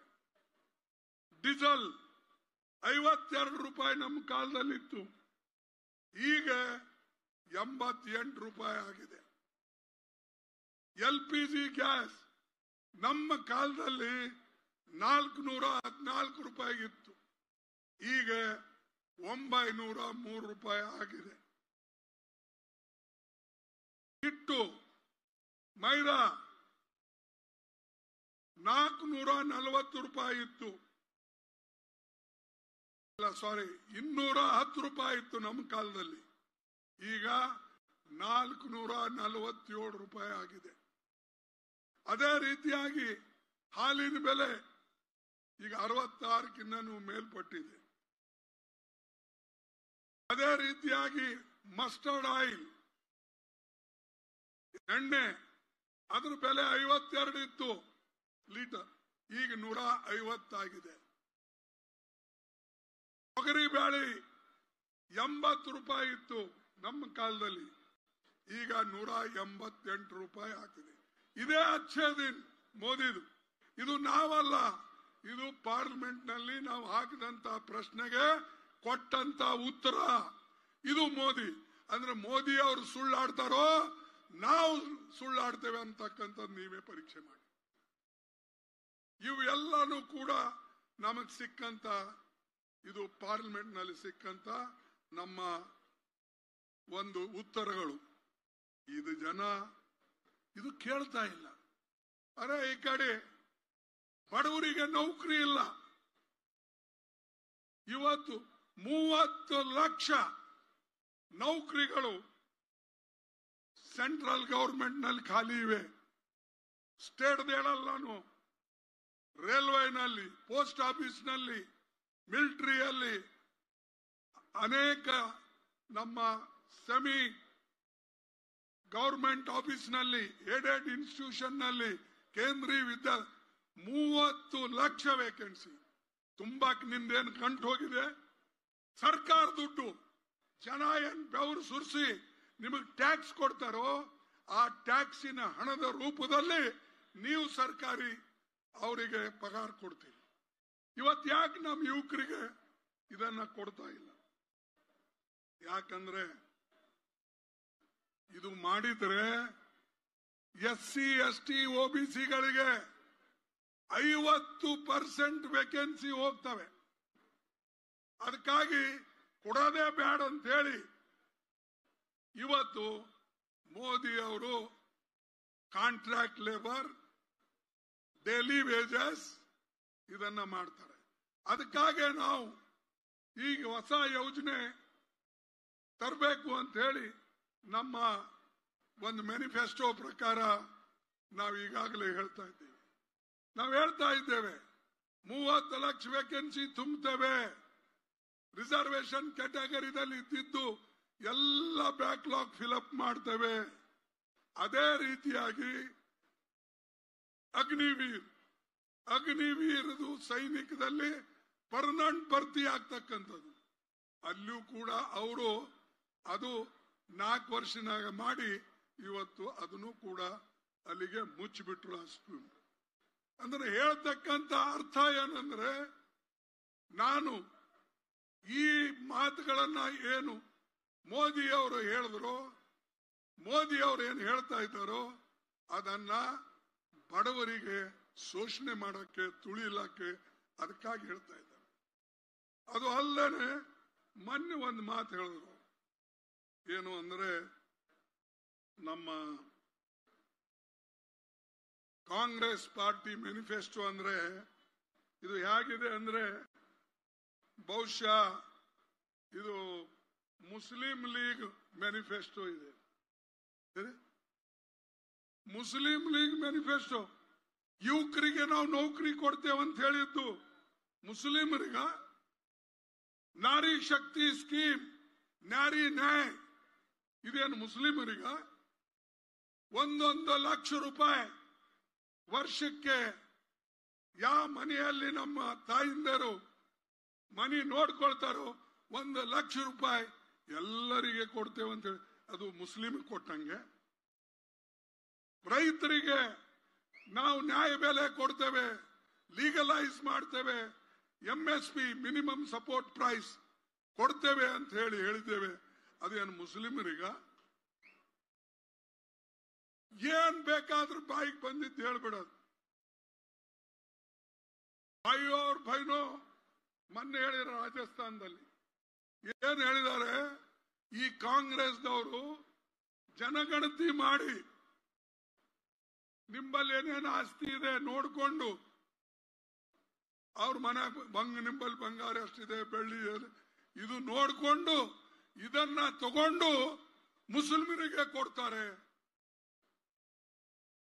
ಒಬ್ಬ ಪ್ರಧಾನ ಮಂತ್ರಿ ಈ ದೇಶದ ತಿಳುವಳಿಕೆ ಇಟ್ಕೊಂಡು ಮಾತಾಡಬೇಕೆ ಹೊರತಾಗಿ ಈ ರೀತಿಯಾಗಿ ಅಜ್ಞಾನಿ ಹಂಗೆ ಮಾತಾಡ್ತಾರೆ. ಇದು ಯಾರಿಗೂ ಕೂಡ ಶೋಭೆ ತರ್ತಕ್ಕಂಥದ್ದಲ್ಲ. ನಾವೇನ್ ಮಾಡ್ತೇವೆ? ದೇಶದ ಜನರಿಗೋಸ್ಕರ ಮಾಡ್ತೇವೆ. ಬಡವರಿಗೋಸ್ಕರ ಮಾಡ್ತೇವೆ. ಈಗ ನಾವು ಎರೆ, ನರೇಗಾ ಸ್ಕೀಮ್ ಮಾಡ್ತೇವೆ. ನರೇಗಾ ಸ್ಕೀಮ್ ಮುಸ್ಲಿಮರಿಗೆ ಇದೆನಾ? ಏನ್ ಬಡ ಶೆಡ್ಯೂಲ್ ಕಾಸ್ಟಿಗಿದೆನಾ ನರೇಗಾ ಸ್ಕೀಮ್ ಈ ದೇಶದಲ್ಲಿ ಏನ್ ಬಡವರಿದ್ದಾರೋ ಯಾರಿಗೆ ಹೊಟ್ಟಿಗೆ ಅನ್ನ ಇಲ್ಲ, ಕೈಗೆ ಕೆಲಸ ಇಲ್ಲ ಅಂತವರಿಗೆ ಈ ನರೇಗಾ ಯೋಜನೆ ಮುಖಾಂತರ ದುಡಿಯಕ್ಕೆ ಒಂದು ಹಾದಿ ಮಾಡಿಕೊಟ್ಟಿದ್ದೇವೆ. ಆದ್ರೆ ಮೋದಿ ಅದಕ್ಕೆ ಉತ್ತರ ಹೇಳಲ್ಲ. ಹೊಟ್ಟಿಗೆ ಅನ್ನ ಕೊಡಬೇಕು, ಉಪವಾಸ ಸಾಯ್ತಾರೆ ಅಂತೇಳಿ ಸೋನಿಯಾ ಗಾಂಧಿ ಅವರು ಫುಡ್ ಸೆಕ್ಯೂರಿಟಿ ಆಕ್ಟ್ ಇದು ತಂದ್ರು. ಮೋದಿನೂ ತೆಗೆಯಕ್ಕಾಗೋದಿಲ್ಲ ಇದು. ಇದು ಒಂದು ಮೂಲಭೂತ ಹಕ್ಕ. ಯಾವುದು? ಈ ನರೇಗಾ, ಈ ಫುಡ್ ಸೆಕ್ಯೂರಿಟಿ ಆಕ್ಟ್, ಇವೆಲ್ಲ ನಾವು ಮಾಡಿದ್ರಿ ಬಡವರಿಗಾಗಿ. ಇದರಲ್ಲೇನು ಹಿಂದೂ, ಮುಸಲ್ಮಾನ್, ಸಿಖ್, ಇಸಾಯಿ, ಕ್ರಿಶ್ಚಿಯನ್, ಬುದ್ಧಿಸ್ಟ್, ಇದನ್ನ ಭೇದ ಭಾವ ಮಾಡಿದೆವಾ ಓಟಿನ್ಗೋಸ್ಕರ ಏನ್ ಬೇಕಾದ್ರೂ ಹೇಳ್ಬಿಡ್ತಾನೆ ಮಾರಾಯ. ಬಾಯಿಗೆ ಬಂದಂತೆ ಹೇಳ್ಬಿಡೋದು. ಆಮೇಲೆ ಎ ಕಾಂಗ್ರೆಸ್ ವಾಲೆ ಐಸಾ ಕರ್ರಿ ಗಾಂಧಿ ಫ್ಯಾಮಿಲಿ ಗಾಂಧಿ ಫ್ಯಾಮಿಲಿ ಏನ್ ಮಾಡ್ತು? ಹತ್ತೊಂಬತ್ ನೂರ ನೈನ್ಟೀನ್ ಏಟಿ ನೈನ್ ಹಿಡ್ಕೊಂಡು ಇಲ್ಲಿವರೆಗೆ ಒಬ್ರು ಗಾಂಧಿ ಫ್ಯಾಮಿಲಿದವರು ಪ್ರೈಮ್ ಮಿನಿಸ್ಟರ್ ಆಗಿಲ್ಲ ಮಿನಿಸ್ಟರ್ ಆಗಿಲ್ಲ ಚೀಫ್ ಮಿನಿಸ್ಟರ್ ಆಗಿಲ್ಲ. ಆದ್ರೂ ಮೋದಿ ಬೈಯೋದು ಬಿಡಲ್ಲ. ಗಾಂಧಿ ಫ್ಯಾಮಿಲಿ ಗಾಂಧಿ. ಇನ್ನೊಂದು ವಿಚಾರ. ಬಹಳ ಕಡೆ ಅವರು ಹೇಳ್ತಾರೆ, ಏನು, ನಾವು ದೇಶನ ಒಕ್ಕಟ್ಟಿಟ್ಟು ಬಹಳ ಮಜಬೂತ್ ಮಾಡಿದ್ದೇವೆ. ಅವ್ರ ಆ ಮಜಬೂತ್ ಮಾಡಿ ದೇಶವನ್ನ ಕಟ್ಟಿದ್ದೇವೆ ಅಂತ ಹೇಳಿದ ಇವತ್ತು ದೇಶಕ್ಕೆ ಒಡಿತಕ್ಕಂತ ಕೆಲಸ ಯಾರಾದರೂ ಮಾಡಿದ್ರೆ ಮೋದಿ ಅವರು ಮಾಡಿದ್ದಾರೆ. ಹಿಂದೂ ಮುಸ್ಲಿಂನಲ್ಲಿ ಜಗಳ, ದಲಿತರಲ್ಲಿ ಜಗಳ, ಬೇರೆ ಜಾತಿ ಜಾತಿಗಳಿಗೆ ಜಗಳ. ಅಷ್ಟೇ ಅಲ್ಲ, ಇವ್ರದೊಂದು ಸರ್ಕಾರ ಇದೆ ಉತ್ತರಾಖಂಡ್ನಲ್ಲಿ. ಅವರು ಒಂದು ಸರ್ಕ್ಯುಲರ್ ತೆಗೆದಿದ್ದಾರೆ. ಬಾಬಾ ಸಾಹೇಬ್ ಅಂಬೇಡ್ಕರ್ ಹತ್ತೊಂಬತ್ ನೂರ ಐವತ್ತಾರರಲ್ಲಿ ಬೌದ್ಧ ಧರ್ಮವನ್ನ ಸ್ವೀಕಾರ ಮಾಡಿದ್ರು. ಆದರೆ ಈಗ ಉತ್ತರಾಖಂಡ ಚೀಫ್ ಮಿನಿಸ್ಟರ್ ಹೇಳ್ತಾನೆ, ಯಾರೇ ಒಬ್ರು ಬುದ್ಧಿಸ್ಟ್ ಆಗ್ಬೇಕು ಅಂದ್ರೆ ಡೆಪ್ಟಿ ಕಮಿಷನರ್ ಪರ್ಮಿಷನ್ ತಗೊಳ್ಬೇಕು. ಎಲ್ಲಿ ಬೌದ್ಧ ಧರ್ಮ ಎಲ್ಲಿ ಹುಟ್ಟಿದೆ? ಯಾವ ದೇಶದಾಗ ಹುಟ್ಟಿದೆ? ಈ ದೇಶದಲ್ಲೇ ಹುಟ್ಟಿ ಅದನ್ನ ನೀವು ತಿಳ್ಕೊಳ್ತೀರಿ. ಕೆಲವು ಜನ, ಬಹಳ ಜನ ಹೇಳ್ತಾರೆ, ಏನು? ಬುದ್ಧ, ಇದು ವಿಷ್ಣುನ ಒಂಬತ್ತನೇ ಅವತಾರ. ಹೇಳ್ತಾರಲ್ಲ? ಒಂಬತ್ತನೇ ಅವತಾರ. ಅರೆ, ನಿಮ್ ಒಂಬತ್ತನೇ ಅವತಾರ ಬುದ್ಧ ಅಂತ ಹೇಳ್ತೀರಿ. ಅವನ ಧರ್ಮವನ್ನ ಯಾರಾದರೂ ಸ್ವೀಕಾರ ಮಾಡ್ಬೇಕಾದ್ರೆ ಅವನಿಗೆ ಡಿ ಸಿ ಪರ್ಮಿಷನ್ ಬೇಕು. ವಾ, ಮೋದಿಜಿ, ನೀವು ಬುದ್ಧಗನು ದೇಶದ ಹೊರಗಡೆ ನೋವನ್ನು ತಿಳ್ಕೊಂಡ್ರಿ. ಈ ರೀತಿಯಾಗಿ ಒಂದು ಅವರ ಮನಸ್ಸಿನಲ್ಲಿ ಕೆಟ್ಟ ಭಾವನೆ, ದಲಿತರ ಬಗ್ಗೆ, ಬಡವರ ಬಗ್ಗೆ. ಕೆಲವು ಸಲ ಹೇಳ್ತಾರೆ, ಈ ಕಾಂಗ್ರೆಸ್ದವ್ರಿಗೆ ನಾವು ರಾಮ ಮಂದಿರದು ಆಹ್ವಾನ ಕೊಟ್ಟಿದ್ದೇವೆ. ಆದ್ರೆ ಇವರು ಬರಲಿಲ್ಲ. ಯಾರು ಕೂಡ ಬಂದು ಅಲ್ಲಿ ನಮಸ್ಕಾರ ಮಾಡಲಿಲ್ಲ, ಅವಮಾನ ಮಾಡಿದ್ದಾರೆ ರಾಮ್ಗೆ. ಅದು ಇನ್ನೂ ದಿನ ಹೇಳ್ತಾನೆ. ಅರೆ ಮಾರಾಯ, ನಾವಂತೂ, ನಾನು ಸ್ಪಷ್ಟ ಹೇಳಿದ್ದೇನೆ, ನನಗೆ ಇನ್ವಿಟೇಷನ್ ಬಂದ ಮೇಲೆ ಯಾರ ಆಸ್ತಾ ಇದೆ, ಯಾರ ನಂಬಿಕೆ ಇದೆ, ಅವ್ರು ಎಲ್ಲಾದ್ರೂ ಹೋಗ್ಬೋದು, ಎಲ್ಲರೂ ಹೋಗ್ಬೋದು. ನಾವ್ಯಾರಿಗೂ ತಡೆ ಹಿಡಿದಿಲ್ಲ, ಹಿಡಿಯೋದು ಇಲ್ಲ. ಇಲ್ಲಿ ನಮ್ಮ ಸಂವಿಧಾನದಲ್ಲಿ ಬಾಬಾ ಸಾಹೇಬ್ ಅಂಬೇಡ್ಕರ್ ಅವರು ಸಮಾನ ಹಕ್ಕು ಕೊಟ್ಟಿದ್ದಾರೆ. Freedom of religion freedom of speech freedom of expression ಇದು ಎಲ್ಲ ನಮ್ಮದಿದೆ ರೀ. ನಾವು ಕೊಟ್ಟಿದ್ದೇವೆ. ನಾವು ಯಾರಿಗೂ ಒತ್ತು ಹಿಡಿದಿಲ್ಲ. ಆದ್ರೆ ನಮಗೊಂದು ಇನ್ವಿಟೇಷನ್ ಕೊಟ್ಟರು ನಮ್ಮ ಸೋನಿಯಾ ಗಾಂಧೀಜಿ ಅವರಿಗೊಂದು ಇನ್ವಿಟೇಷನ್ ಕೊಟ್ಟರು ನನಗೆ ಕೊಟ್ಟಿದ್ದು ಯಾಕೆ? ನಾನು ಅಪೋಸಿಷನ್ ಲೀಡರ್ ಲೋಕಸಭೆ, ರಾಜ್ಯಸಭೆಯಲ್ಲಿ ಇದ್ದೀನಿ. ನಾನು ಕ್ಯಾಬಿನೆಟ್ ಮಿನಿಸ್ಟರ್ ಸಹಜವಾಗಿ ನನಗೆ ಇನ್ವಿಟೇಷನ್ ಬರ್ತದೆ. ನನಗೆ ಯಾವಾಗ ಬೇಕು ಆವಾಗ ನಾನು ಹೋಗ್ತೇನೆ. ಆದ್ರೆ ನೀವೇನ್ ಪ್ರಚಾರ ಮಾಡ್ತಾ ಇದ್ರಿ ಈ ಕಾಂಗ್ರೆಸ್ದವ್ರು ಬರ್ತಾ ಇಲ್ಲ, ಕಾಂಗ್ರೆಸ್ದವ್ರು ಬರ್ತಾ ಇಲ್ಲ. ನಮಗ್ ಬಿಡೋಪ್ಪ, ಕಾಂಗ್ರೆಸ್ದವ್ರಿಗೆ ಬರ್ತಾ ಇಲ್ಲ ಅಂತ ನೀನು. ಪ್ರಚಾರ ಮಾಡ್ಕೊಂಡು ಓಟಿನ್ಗೋಸ್ಕರ ಏನಾದರೂ ಹೇಳಿ. ಮುರ್ಮಗೆ ಯಾಕೆ ಕರೆದಿಲ್ಲ? ಶೆಡ್ಯೂಲ್ ಟ್ರೈಬ್ ಹೆಣ್ಮಗಳು, ಈ ದೇಶದ ರಾಷ್ಟ್ರಪತಿ, ಆ ರಾಷ್ಟ್ರಪತಿ ಅವರಿಗೆ ನೀವು ಯಾಕೆ ಕರೆದಿಲ್ಲ?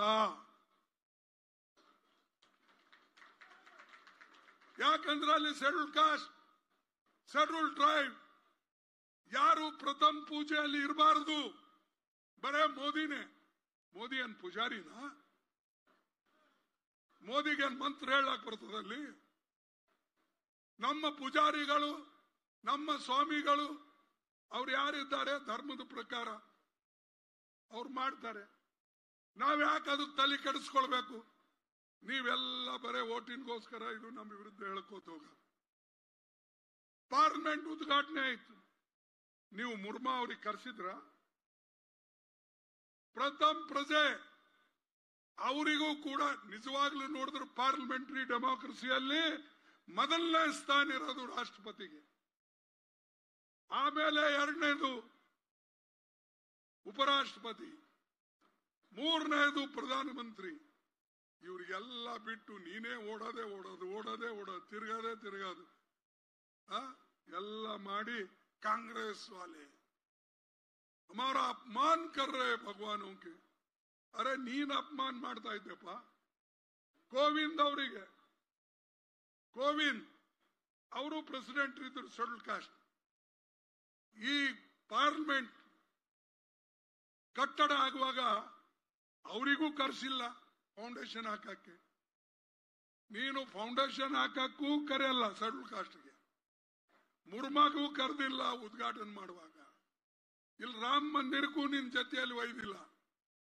ಎಲ್ಲಿ ಅದಕ್ಕಾಗಿ ನಾನು ಹೇಳಿದೆ, ಎಲ್ಲಿವರೆಗೆ ನೀವು ಈ ಅಸ್ಪೃಶ್ಯ ಜನರಿಗೆ, ಈ ಸರಳ ಕಾಸ್ಟ್ ಜನರಿಗೆ, ಬ್ಯಾಕ್ವರ್ಡ್ ಜನರಿಗೆ, ಸೂತ್ರರಿಗೆ, ನೀವು ಎಲ್ಲಿವರೆಗೆ ದೇವಸ್ಥಾನದಲ್ಲಿ ಎಲ್ಲರಿಗೂ ಬಿಡೋದಿಲ್ಲ, ಅಲ್ಲಿವರೆಗೆ ನಾನು ಬರೋದಿಲ್ಲ ಅಂತ ಹೇಳಿದೆ. ಅದಕ್ಕಾಗಿ ಏನ್ ತಪ್ಪಾಯ್ತಪ್ಪ? ನಾವೇನು ಅವ್ರಿಗೇನು ಬೈದೇವ, ಅಂದೇವ? ಆದ್ರೂ ಮೋದಿ ಓಟಿನ್ಗೋಸ್ಕರ ಎಲ್ಲಿ ಹೋದಲ್ಲ ಅದೇ ನೀ ಅದು ಬಿಡುವಪ್ಪ, ದೇಶಕ್ಕೆ ಏನ್ ಮಾಡಿರಿ ಬೆಲೆ ಏರಿಕೆ ಬಗ್ಗೆ ಏನ್ ಮಾಡಿದ್ಯಾ? ಜನರಿಗೆ ಎಂಪ್ಲಾಯ್ಮೆಂಟ್ಗೋಸ್ಕರ ಏನ್ ಮಾಡಿದ್ಯಾ? ರೈತರ ಏಳಿಗೆಗಾಗಿ ಏನ್ ಮಾಡಿದ್ಯಾ? ಹೆಣ್ಣು ಮಕ್ಕಳ ಉದ್ಧಾರಕ್ಕಾಗಿ ನೀ ಏನ್ ಮಾಡಿದ್ಯಾ? ಹೆಣ್ಣು ಮಕ್ಕಳು ಇವತ್ತು ನೆನೆಸ್ಕೊಳ್ಬೇಕು ಬಳೋದಿದ್ದರು ಹೋಗಿದ್ದಾರೆ. ನೆನೆಸ್ಕೊಳ್ಬೇಕು. ಈ ದೇಶದಲ್ಲಿ ಹೆಣ್ಣು ಮಕ್ಕಳಿಗೆ ಓಟಿನ ಅಧಿಕಾರ ಮೊದಲು ಇರಲಿಲ್ಲ. ನಮಗೂ ಇರಲಿಲ್ಲ. ನಿಮಗೂ ಇರಲಿಲ್ಲ. ಓಟಿನ ಅಧಿಕಾರ ಬಂದಿದ್ದು ಯಾವಾಗ? ಯಾವಾಗ ಪಂಡಿತ್ ಜವಾಹರ್ಲಾಲ್ ನೆಹರು, ಡಾಕ್ಟರ್ ಬಾಬಾ ಸಾಹೇಬ್ ಅಂಬೇಡ್ಕರ್ ಸಂವಿಧಾನ ಬರೆದು ಒಪ್ಪಿಸಿದ್ರು ರಾಷ್ಟ್ರಪತಿಗೆ ಅಂದಿನಿಂದ ನಿಮಗೆ ಓಟಿನ ಅಧಿಕಾರ ಬಂದಿದೆ. ಇದ್ರ ಎಲ್ಲಿತ್ತು ನಿಮಗೆ ಓಟಿನ ಅಧಿಕಾರ? ಎಲ್ಲೋ ಕೂಡ್ತಿದ್ರಿ. ಆದ್ರೆ ಈ ರಾಜಕೀಯದಲ್ಲಿ ಭಾಗವಹಿಸೋದು ಇರಲಿಲ್ಲ. ನಮ್ಮ ತಾಯಿಂದರಿಗೆ ಓಟಿನ ಅಧಿಕಾರ ಇರಲಿಲ್ಲ. ಯಾಕಂದ್ರೆ ಮೋದಿ ಅವರ ಐಡಿಯಾಲಜಿ ಏನಿದೆ, ಮೋದಿ ಅವರ ವಿಚಾರಧಾರ ಏನಿದೆ, ಹೆಣ್ಣು ಮಕ್ಕಳಿಗೆ ಎಂದೂ ಕೂಡ ಓಟಿನ ಅಧಿಕಾರ ಕೊಡಬಾರದು, ಸಮಾನತೆಯಿಂದ ನೋಡಬಾರದು. ಇದು ಆರ್ ಎಸ್ ಎಸ್ ಹೇಳ್ತದೆ. ನೀವು ಓದಿದ್ರೆ ಗೊತ್ತಾಗ್ತದೆ. ಅಂತವ್ರು ನಮಗ್ ಬುದ್ಧಿ ಕಲಿಸ್ತಾರೆ. ಅಂತವ್ರು ನಮಗ್ ಹೇಳ್ತಾರೆ. ಅದಕ್ಕಾಗಿ ನಾನು ನಿಮಗೆ ಕಳಕಳಿಯಿಂದ ಕೇಳ್ಕೊಳ್ತೇನೆ. ಇಲ್ಲಿ ನಮ್ಮ ಬ್ಯಾಂಗ್ಳೂರ್ ರೂರಲ್ ಇಂದ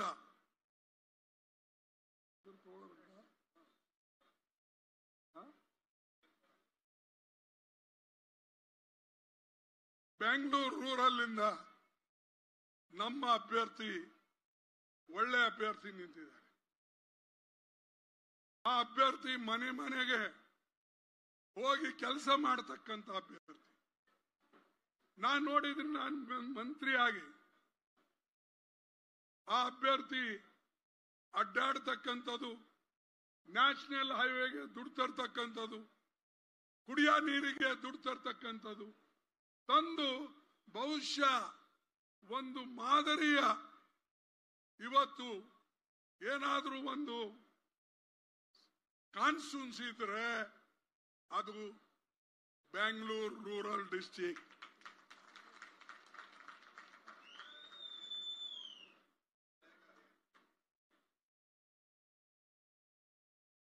हिंदी में लेके क्या करते भैया सब कन्नड़ा है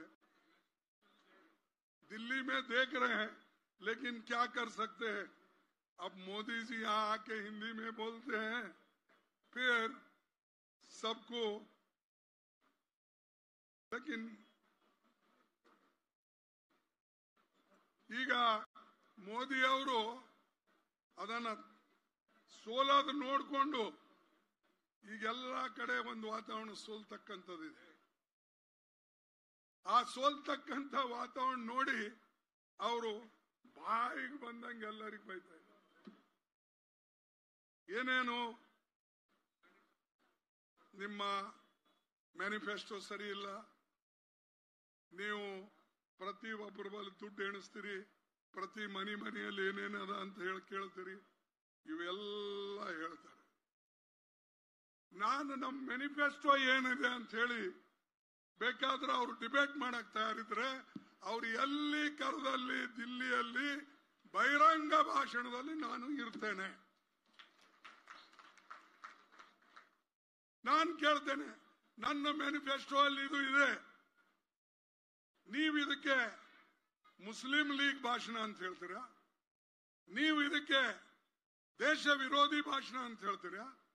ನಮ್ಮ ಮ್ಯಾನಿಫೆಸ್ಟೋ ಈಗ ನಾವು ರಾಹುಲ್ ಗಾಂಧೀಜಿ ಅವರು, ಸೋನಿಯಾ ಗಾಂಧಿ ಸೇರಿ ನಮ್ಮ ಪಾರ್ಟಿ ವತಿಯಿಂದ ಐದು ಗ್ಯಾರಂಟಿ ನಾವು ಕೊಡ್ತಾ ಇದ್ದೀವಿ.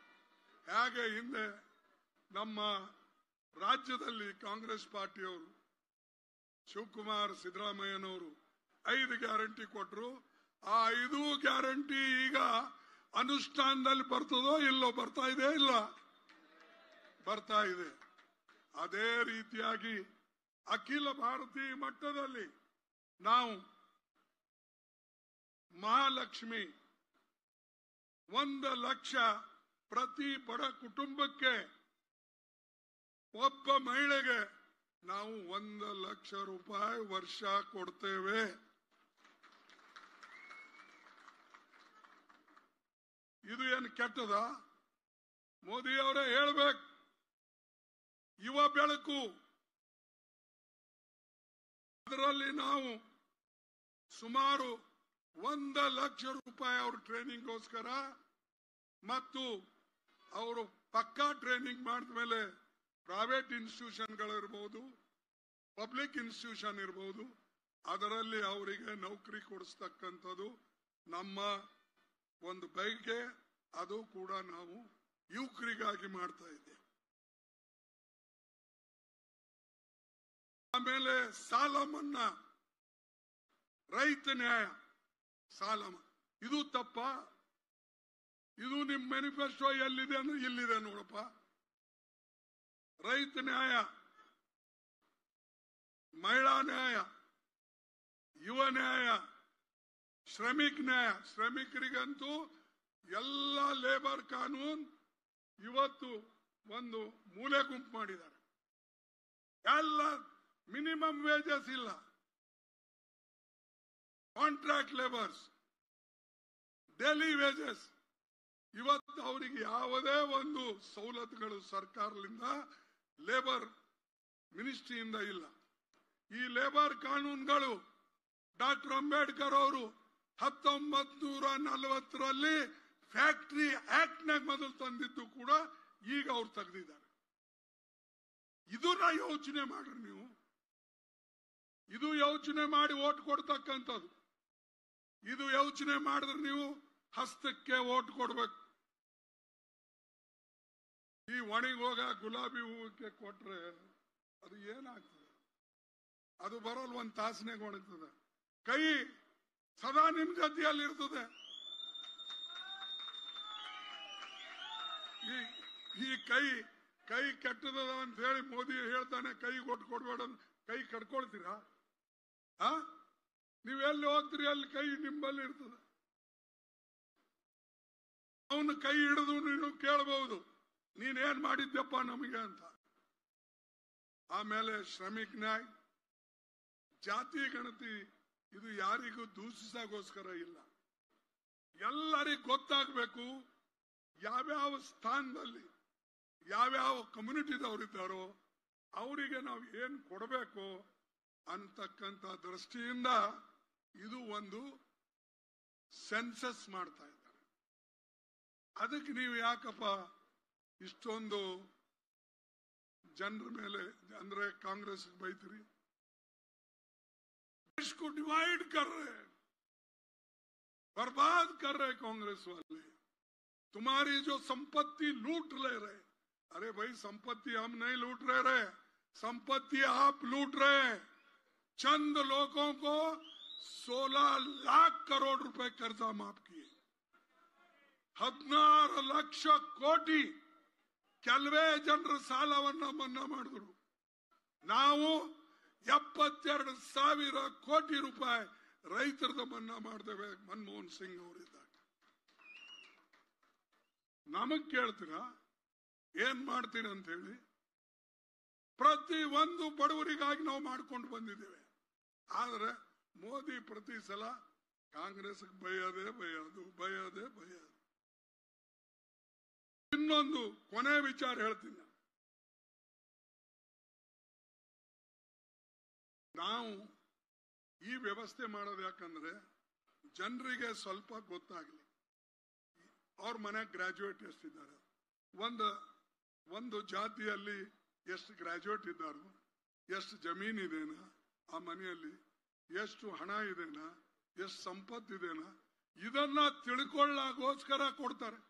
ಕಸ್ಕೊಳ್ಳಾಗೋಸ್ಕರ ಅಲ್ಲ. ಲ್ಯಾಂಡ್ ರಿಫಾರ್ಮ್ಸ್ ಮೇಲೆ ನಾವು ಮಾಡಿದೇವೆ. ನೀವು ಯಾರಾದರೂ ಬಂದ್ರ? ಅರೆ ದೇಶದ ಸ್ವಾತಂತ್ರ್ಯಕ್ಕಾಗೆ ನೀವು ದುಡಿದವರು ಅಲ್ಲ. ನಿಮಗೇನು ಗೊತ್ತಿದೆ ಬಡವ್ರ ನೋವು? ಅದಕ್ಕಾಗಿ ದೇವರಾಜರ್ಸ್ ಕಾಲದಲ್ಲಿ ಈ ಭೂ ಸುಧಾರಣೆ ಕಾನೂನು ತಂದಿದ್ದು. ನಿಮ್ಮ ಕಾಲದಲ್ಲಿ ಏನ್ ತಂದ್ರಿ? ಶ್ರೀಮಂತರಿಗೆ ದುಡ್ಡು ಕೊಡೋದು. ಅವ್ರು ಸಾಲ ತಗೊಳ್ತಾರೆ ಬ್ಯಾಂಕಿನಿಂದ ಸಾಲ ತಗೊಂಡು ಓಡಿ ಹೋಗ್ತಾರೆ. ಅವ್ರ ಬಲ್ಲಿ ಉಸುಲ್ ಮಾಡಲ್ಲ. ಆದ್ರೆ ನೀವು ಸಾಲ ಏನಾದ್ರೂ ಬ್ಯಾಂಕ್ಲಿಂದ ತಗೊಂಡ್ರೆ, ಡಿ ಸಿ ಸಿ ಬ್ಯಾಂಕ್ಲಿಂದ ತಗೊಂಡ್ರೆ, ಅವ್ರು ಟ್ರ್ಯಾಕ್ಟರ್ಗಳು ಜಪ್ತಿ ಮಾಡ್ತೀರಿ. ಅವ್ರ ಮನಿ ಜಪ್ತಿ ಮಾಡ್ತೀರಿ. ಅವ್ರ ಹೊಲ ಜಪ್ತಿ ಮಾಡ್ತೀರಿ. ಆ ಹದಿನಾರು ಲಕ್ಷ ಕೋಟಿ ತಗೊಂಡು ಓಡ್ ಹೋಗ್ಯಾರಲ್ಲ ಅವ್ರದ್ದೇನ್ ಮಾಡಿದಿರಪ್ಪ? ಹುಡ್ಕೊಂಡು ಬಂದಿರ ಅವರಿಗೆ? ಅದಕ್ಕೆ ಮೋದಿ ಅವರೇ ಉತ್ತರ ನಮ್ಮಲ್ಲಿ ಬಹಳಷ್ಟಿದೆ. ನೀವು ಬರೇ ಏನ್ ಮಾಡ್ತೀರಿ? ಹಿಟ್ ಅಂಡ್ ರನ್ ನಾಲ್ಕು ಮಾತಾಡೋದು ಓಡ್ ಹೋಗೋದು. ಅರೆ ನಿಂತು ಬಯಸ್ ಮಾಡಿ, ಚರ್ಚೆ ಮಾಡಿ. ನಾನು ಪಾರ್ಲಿಮೆಂಟ್ನಾಗ ನೀವು ಕೇಳಿರ್ಬೇಕು. ಅನೇಕ, ಒಂದೊಂದು ಗಂಟೆ ಗಂಟ್ಲೆ ಮಾತಾಡಿದ್ದೀನಿ ಅನೇಕ ವಿಷಯ ಸಂವಿಧಾನ ಇರಬಹುದು ಅಥವಾ ಅವ್ರು ಮಾಡಿದಂತ ಕೆಲಸ ಇರಬಹುದು ಯಾವುದೇ ವಿಷಯ ಮೇಲೆ. ಒಂದಕ್ಕೂ ಉತ್ತರ ಕೊಡೋದಿಲ್ಲ. ನಾವು ಕೇಳೋದೇ ಒಂದು, ಅವನು ಹೇಳೋದೇ ಒಂದು. ನಾವು ಕೇಳ್ದೇವೆ ಹಸು ಆಗ್ಯದಪ್ಪ, ರೊಟ್ಟಿ ಕೊಡಂದ್ರ. ಇಲ್ಲ, ಇವತ್ತು ಸಸ್ತ ಆಗ್ಯದೆ ಬೇಕರಿಯಲ್ಲಿ. ಏನಂತಾರ ಅದಕ್ಕೆ? ಅರೆ, ಮಕ್ಕಳಿಗೆ ಅದೆಲ್ಲ ಬರ್ತಡೇ ಕೇಕ್ ಕಟ್, ಕೇಕ್ ಕೊಡ್ತೀನಿ ಅಂತ. ಇಲ್ಲಪ್ಪ, ನನ್ಗೆ ರೊಟ್ಟಿ ಕೊಡು, ಹಸು ಇಲ್ಲ, ಇವತ್ತು ನಾ ಸಸ್ತ ಮಾಡಿನ ಕೇಕು, ಹೋಗಿ ನೀವು ಕೇಕ್ ತಿನ್ರಿ ಅಂತ. ಇದು ಮೋದಿದು ಕುಡಿಯಕ್ ನೀರು ಕೊಡಿಯಪ್ಪ ಅಂದ್ರೆ, ಇಲ್ಲ ಹೋಗ್ರಿ, ವಾರಾಣಸಿಗೆ ಗಂಗಾಜಲ್ ತಂದು ಕುಡೀರಿ. ಇಂಥ ಮಾತುಗಳು ನೀವು ಹೇಳಿದ್ರೆ ದೇಶಕ್ಕೆ ಒಳ್ಳೇದಾಗ್ತದ? ಕ್ಷಮಿಸ್ಬೇಕು. ನಾವು ಮೋದಿ ವಿರುದ್ಧ ಇಲ್ಲ. ಆದ್ರೆ ಮೋದಿ ತತ್ವದ ವಿರುದ್ಧ ಇದ್ದೇವೆ. ಅವ್ರ ಐಡಿಯಾಲಜಿ ವಿರುದ್ಧ ಇದ್ದೇವೆ. ಆರ್ ಎಸ್ ಎಸ್ ಐಡಿಯಾಲಜಿ ವಿರುದ್ಧ ಇದ್ದೇವೆ. ಮೋದಿ ನಾವ್ ಯಾಕೆ ಕೇಳಕ ಅವರು ಒಬ್ಬ ವ್ಯಕ್ತಿ ಆದ್ರ ಕಷ್ಟ ಏನ್ ಬಂದಿದೆ ಅಂದ್ರೆ ಇವತ್ತು ಎಲ್ಲ ಬಿಟ್ಟು ಅವರು ये मोदी की गारंटी ये मोदी की छप्पन इंच छाती ये मोदी की वो ये मोदी की बात ಅರೆ ನೀವೆಲ್ಲ ಮೋದಿ ಕಿ ಬಾತ್ ಮೋದಿ ಕಿ ಬಾತ್ ಅಂತ ಹೇಳಿದ್ರೆ ಮತ್ ನಾವ್ ಯಾರಿಗ್ ಬೈಬೇಕು ಅಥವಾ ನಾವ್ ಯಾರಿಗ್ ಸಾರಿ ನಾವ್ ಯಾರಿಗ್ ಕ್ರಿಟಿಸೈಸ್ ಮಾಡ್ಬೇಕು ಎಲ್ಲ ನಿನ್ನೆ ನೀ ಬಿಜೆಪಿ ಹೆಸರು ಹೇಳಲ್ಲ. ನಿಮ್ ಪಾರ್ಟಿ ಹೆಸರು, ನಮ್ ಪಾರ್ಟಿ ಹಿಂಗ್ ಮಾಡ್ತದೆ ಅಂತ ಎಂದು ಹೇಳಿಲ್ಲ. ಏ ಮೋದಿ ಕರೆಗ, ಮೋದಿ ಆಯ್ತು ತೋ ಸಾರಾ ನೀನೇ ಹೇಳುವಾಗ, ಮತ್ ನಿನಗೆ ಎಲ್ಲಿ ಬಿಟ್ಟು ಹೋಗ್ಬೇಕಪ್ಪ ನಾವು? ನಿನ್ ಬೆನ್ನೆ ಹತ್ಬೇಕಾಗ್ತದೆ. ಅದಕ್ಕೆ ನಾವು ಮೋದಿ ಹೆಸರು ತಗೊಳ್ತೇವೆ. ಮೋದಿ ಟೀಕೆ, ಟಿಪ್ಪಣಿ ಮಾಡೋದು ಅವನ ತತ್ವದಗೋಸ್ಕರ ಹೊರತಾಗಿ ಒಬ್ಬ ವ್ಯಕ್ತಿ ನರೇಂದ್ರ ಮೋದಿ ಇದ್ದಾನೆ ಅಂತ ಹೇಳಿ ಇಲ್ಲ. ಮತ್ತೆ ಎಲ್ಲ ಕಾಂಟ್ರಾಕ್ಟ್ ಅವ್ರಿಗೆ ತಗೊಂಡಿದ್ದ. ಮನ್ನಂತೂ ಮನ್ನಂತೂ ಹೇಳಬೇಡಿ. ಅವರು ಈ ಎಲೆಕ್ಷನ್ ಫಂಡ್ ಬಂತಲ್ಲ ಎಲೆಕ್ಷನ್ ಬಾಂಡ್ ಆ ಎಲೆಕ್ಷನ್ ಬಾಂಡ್ ಎಲ್ಲರಿಗೆ ಹೆದರಿಸಿ ಹೆದರಿಸಿ ಎಲ್ಲರಿಗಿಂತಲೂ ಜಾಸ್ತಿ ಹತ್ತು ಪಟ್ಟು ಇಪ್ಪತ್ತು ಪಟ್ಟು ನೂರು ಪಟ್ಟು ನಮಗೆ ಯಾರಾದ್ರೂ ಎಲೆಕ್ಷನ್ ಫಂಡ್ ಕೊಡ್ತಕ್ ಬಂದ್ರೆ ಅವ್ರಿಗೆ ಇಡಿ ಹಾದಿ ತೋರಿಸ್ತಾನೆ, ಇನ್ಕಮ್ ಟ್ಯಾಕ್ಸ್ ಹಾದಿ ತೋರಿಸ್ತಾನೆ, ಸಿ ಬಿ ಸಿ ತೋರಿಸ್ತಾನೆ, ಸಿ ಬಿ ಐ ತೋರಿಸ್ತಾನೆ. ಅರೆ, ನೀ ಬಂದಿದ್ದೆಲ್ಲ ಗಪ್ಪನೆ ಹೊಡಿತಾ ಇದ್ಯಾ? ಇನ್ನೊಬ್ಬರಿಗೆ ಪ್ರಜಾಪ್ರಭುತ್ವದಲ್ಲಿ ಸಮಾನವಾದಂತ ಹಕ್ಕು ಕೊಡಬೇಕಲ್ಲ? ಇಲ್ಲ. ಅದು ಭ್ರಷ್ಟ, ಏ ಭ್ರಷ್ಟ, ಓ ಭ್ರಷ್ಟ. ಎಲ್ಲ ಈ ಕರಪ್ಷನ್ ಕರಪ್ಟ್ ಯಾರಿದ್ದಾರೋ ಈ ಕರಪ್ಷನ್ ಮಾಡೋರಿಗೆ ಎಲ್ಲರಿಗೆ ನಾ ಹಿಡಿದು ಹಾಕ್ತೀನಿ ಅಂತಂದ. ಈಗೆಲ್ಲ ಕರಪ್ಷನ್ ಮಾಡೋರಿಗೆ ಅವ ತೊಡಿ ಮೇಲೆ ಕೂಡಿಸ್ಕೊಂಡು ಜೋಳಿಗೆಯಲ್ಲಿ ಹಾಕೊಂಡು ತಿರುಗಾಡ್ತಾ ಇದ್ದ. ಅದಕ್ಕಾಗಿ ಬಂಧುಗಳೇ, ಅರೆ ಅಕ್ಕಿ ಎಂಬತ್ತು ಕೋಟಿ ಜನರಿಗೆ ನಾನು ಫ್ರೀ ಆಗಿ ಕೊಡ್ತಾ ಇದ್ದೀನಿ. अस्सी करोड़ लोगों को मैं फ्री मुफ़्त चावल देता हूँ। कहाँ से देते भाई? तुम्हारा घर का देते। अरे, हम कानून बनाए। हाँ? हम कानून बनाए। मनमोहन सिंह के जमाने में हम भी थे। सोनिया गांधी ने कहा, गरीबों के लिए ये ज़रूरी है। अद कौरो कानून। ಆ ಕಾನೂನು ತೆಗಿಬೇಕಂದ್ರೂ ನಿನ್ ಕೈಲಿ ಆಗೋದಿಲ್ಲ ಅದಕ್ಕೆ ನಾವು ಕೊಟ್ಟಂತ ಅಕ್ಕಿ ಇಲ್ಲೇ ಅಂತೂ ನಮ್ಮ ಕರ್ನಾಟಕದಲ್ಲಿ ಫ್ರೀನೇ ಮಾಡಿದ್ದೇವೆ ಮೊದಲು ಅವಾಗ ಇವರೆಲ್ಲ ಮಂತ್ರಿ ಇದ್ರು ಮತ್ತೆ ಸಿದ್ದರಾಮಯ್ಯ ಅವರು ಚೀಫ್ ಮಿನಿಸ್ಟರ್ ಇದ್ದಾಗ ಫ್ರೀನೇ ಮಾಡಿದೆವು ನಾವೆಲ್ಲ ನೀನೇನ್ ದೊಡ್ಡದು ಮಾಡ್ದಂಗೆ ಇವತ್ತು अस्सी करोड़ लोगों को हम दे रहे हैं। अरे सबको दिए हम और कानून बनाए हम मेहनत करे, मुर्गा साहब, अंडा खाए, फकीर साहब। मेहनत तो हम करें, लेकिन सबकी क्रेडिट आप ही लेते। भगवान का मंदिर बनाना क्रेडिट है। प्राइस देना आपका। मैनिफेस्टो पे टीका। सब कर रहे तो इसलिए मैं आपका ज़्यादा वक्त नहीं लेता। और जो आने वाला 2024 का चुनाव है। ये बहुत ही इम्पोर्टेंट है देश को बचाने का, संविधान को बचाने का और लोकतंत्र को बचाने का चुनाव है। अगर आप इसको निग्लेक्ट करेंगे तो सोचेंगे आप आइंदा कभी डेमोक्रेसी को नहीं देखेंगे, कभी संविधान को नहीं देखेंगे। ये सब बीजेपी और आरएसएस वाले इसको खत्म करेंगे तो इसलिए मैं आपसे गुजारिश करता हूं कि आप सब लोग मिलके इस बार हमारे जो कांग्रेस का पंजा है पंजा मालूम है ना हाथ हाथ कई ಕೈಗೆ ಮತ ಕೊಟ್ಟು ದೇಶ ಉಳಿಸಿ ಕೈಗೆ ಮತ ಕೊಟ್ಟು ಸಂವಿಧಾನ ಉಳಿಸಿ ಕೈಗೆ ಮತ ಕೊಟ್ಟು ದೇಶದ ಪ್ರಜಾಪ್ರಭುತ್ವ ಉಳಿಸಿ ಇಷ್ಟು ಮಾತ್ರ ನಿಮಗೆ ಕೇಳಿಕೊಂಡು ನನ್ನ ಮಾತು ಮುಗಿಸ್ತೇನೆ. ಜೈ ಹಿಂದ್, ಜೈ ಕರ್ನಾಟಕ.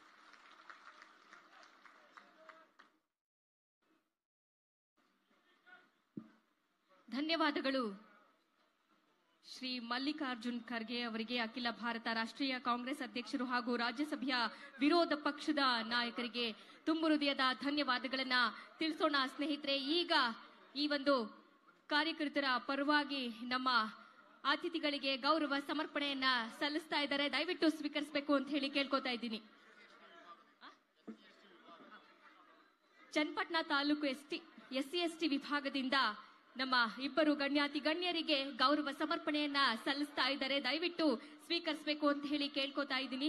ಇವತ್ತು ಈ ಒಂದು ಭಾಗದಲ್ಲಿ, ಚನ್ನಪಟ್ಟಣದಲ್ಲಿ ಕಾಂಗ್ರೆಸ್ ಪಕ್ಷದ ಕಡೆಯಿಂದ ಬೆಂಗಳೂರು ಲೋಪ ಲೋಕಸಭಾ ಕ್ಷೇತ್ರದ ಕಾರ್ಯಕರ್ತರ ಬೃಹತ್ ಸಮಾವೇಶ ಕಾರ್ಯಕ್ರಮ ಬಹಳ ದೂರಿಯಾಗಿ ಮೂಡಿಬಂತು. ಸ್ನೇಹಿತರೆ, ನಾವು ಕೂಡ ಹೇಳ್ತಾ ಇದ್ದೀವಿ, ಈ ಬಾರಿಯ ಲೋಕಸಭಾ ಅಭ್ಯರ್ಥಿಯಾದಂತಹ ನಮ್ಮ ನಿಮ್ಮೆಲ್ಲರ ಅಚ್ಚುಮೆಚ್ಚಿನ ಸುರೇಶಣ್ಣನವರ ಕೊಡುಗೆ ಏನು ಅಂತ ಹೇಳಿ ಎಲ್ರಿಗೂ ಗೊತ್ತಿದೆ. ಈ ಬಾರಿ ಅವರ ಜೊತೆಗೆ ನಾವೆಲ್ಲರೂ ಕೈ ಜೋಡಿಸೋಣ. ನಮ್ಮ ಮತ ದೇಶಕ್ಕೆ ಹಿತ ಅನ್ಕೊಂಡು ನಾವು ಸರಿಯಾದ ಅಭ್ಯರ್ಥಿಯನ್ನ ಆಯ್ಕೆ ಮಾಡುವಂತಹ ಕರ್ತವ್ಯ ನಮ್ದು. ಹಾಗಾಗಿ ಭಾರಿ ನಮ್ಮ ಸುರೇಶ್ ಅಣ್ಣನವರಿಗೆ ಮತ್ತೊಮ್ಮೆ ನಾವೆಲ್ಲರೂ ಕೈ ಜೋಡಿಸಿ ಅಭಿವೃದ್ಧಿಯ ಕಡೆಗೆ ನಾವೆಲ್ಲರೂ ಕೂಡ ಗಮನ ಹರಿಸೋಣ ಅಂತ ಹೇಳ್ತಾ ಈಗ ಕಾರ್ಯಕ್ರಮದ ಕೊನೆಯ ಹಂತದಲ್ಲಿದ್ದೀವಿ. ವಂದನಾರ್ಪಣೆ. ಸುನಿಲ್ ಅವರು ನಗರ ಬ್ಲಾಕ್ ಕಾಂಗ್ರೆಸ್ ಅಧ್ಯಕ್ಷರು. ಬಂಧುಗಳ, ಭಾರತೀಯ ರಾಷ್ಟ್ರೀಯ ಕಾಂಗ್ರೆಸ್ ಪಕ್ಷದ ಅಧ್ಯಕ್ಷರಾದಂತಹ ಮಲ್ಲಿಕಾರ್ಜುನ್ ಖರ್ಗೆರವರು ನಮ್ಮ ನಿಮ್ಮೆಲ್ಲ ನೆಚ್ಚಿನ ನಾಯಕ ಡಿ ಕೆ ಸುರೇಶ್ವರ ಪರವಾಗಿ ಮತಯಾಚನೆ ಮಾಡಿದರೆ ಅವರಿಗೆ ಬ್ಲಾಕ್ ಕಾಂಗ್ರೆಸ್ ಸಮಿತಿ ಹಾಗೂ ತಮ್ಮೆಲ್ಲರ ಪರವಾಗಿ ಹೃತ್ಪೂರ್ವಕ ವಂದನೆಗಳನ್ನು ಸಲ್ಲಿಸ್ತಾ ಹಾಗೂ ಕರ್ನಾಟಕ ಪ್ರದೇಶ ಕಾಂಗ್ರೆಸ್ ಕಮಿಟಿ ಅಧ್ಯಕ್ಷರು, ಕರ್ನಾಟಕ ಸರ್ಕಾರದ ಉಪಮಂತ್ರಿಗಳಾದಂತಹ ಡಿ ಕೆ ಶಿವ ಶಿವಕುಮಾರ್ ಅವರು ಕೂಡ ವಂದನೆಗಳನ್ನು ಸಲ್ಲಿಸ್ತಾ ವಿಧಾನ ಪರಿಷತ್ನ ಸದಸ್ಯರುಗಳಾದಂತಹ ಪುಟ್ಟಣ್ಣವರು ಸುಧಾಮ್ ದಾಸ್ರವರು ಮಾಜಿ ಶಾಸಕರಾದಂತಹ ಸಾದಾತ್ ಅಲಿ ರವರು ಹಾಗೂ ಎಂ ಸಿ ಅಶ್ವಥ್ರವರು ಹಾಗೂ ಎಲ್ಲ ವೇದಿಕೆ ಮೇಲಿಂದ ಎಲ್ಲ ಗಣ್ಯರಿಗೂ ಒಂದಿನ ಸಲ್ಲಿಸ್ತಾ ಇದ್ದೀನಿ. ದಯವಿಟ್ಟು ವೇದಿಕೆಯಿಂದ ನಮ್ಮ ಗಣ್ಯಾತಿ ಗಣ್ಯರಿಗೆ ಹೊರಡೋದಕ್ಕೆ ಅನುವು ಮಾಡಿಕೊಡ್ಬೇಕು ಅಂತ ಹೇಳಿ ನಾನು ಕೇಳ್ಕೊತಾ ಇದ್ದೀನಿ. ದಯವಿಟ್ಟು ಎಲ್ಲಾ ಕಾರ್ಯಕರ್ತರು ಸಹಕರಿಸಬೇಕು ಅಂತ ಹೇಳಿ ಮತ್ತೊಮ್ಮೆ ನಾನು ವಿನಯ ಪೂರ್ವಕವಾಗಿ ಮನವಿಯನ್ನ ಮಾಡ್ಕೊಳ್ತಾ ಇದ್ದೀನಿ. ಹಾಗೆ ಈ ಒಂದು ಕಾರ್ಯಕ್ರಮಕ್ಕೆ ಆಗಮಿಸಿರುವಂತಹ ಚನ್ನಪಟ್ಟಣ ಚನ್ನಪಟ್ಟಣ ಸಾರ್ವಜನಿಕರಿಗೆ ಎಲ್ರಿಗೂ ಮತ್ತೊಮ್ಮೆ ನಾನು ತುಂಬು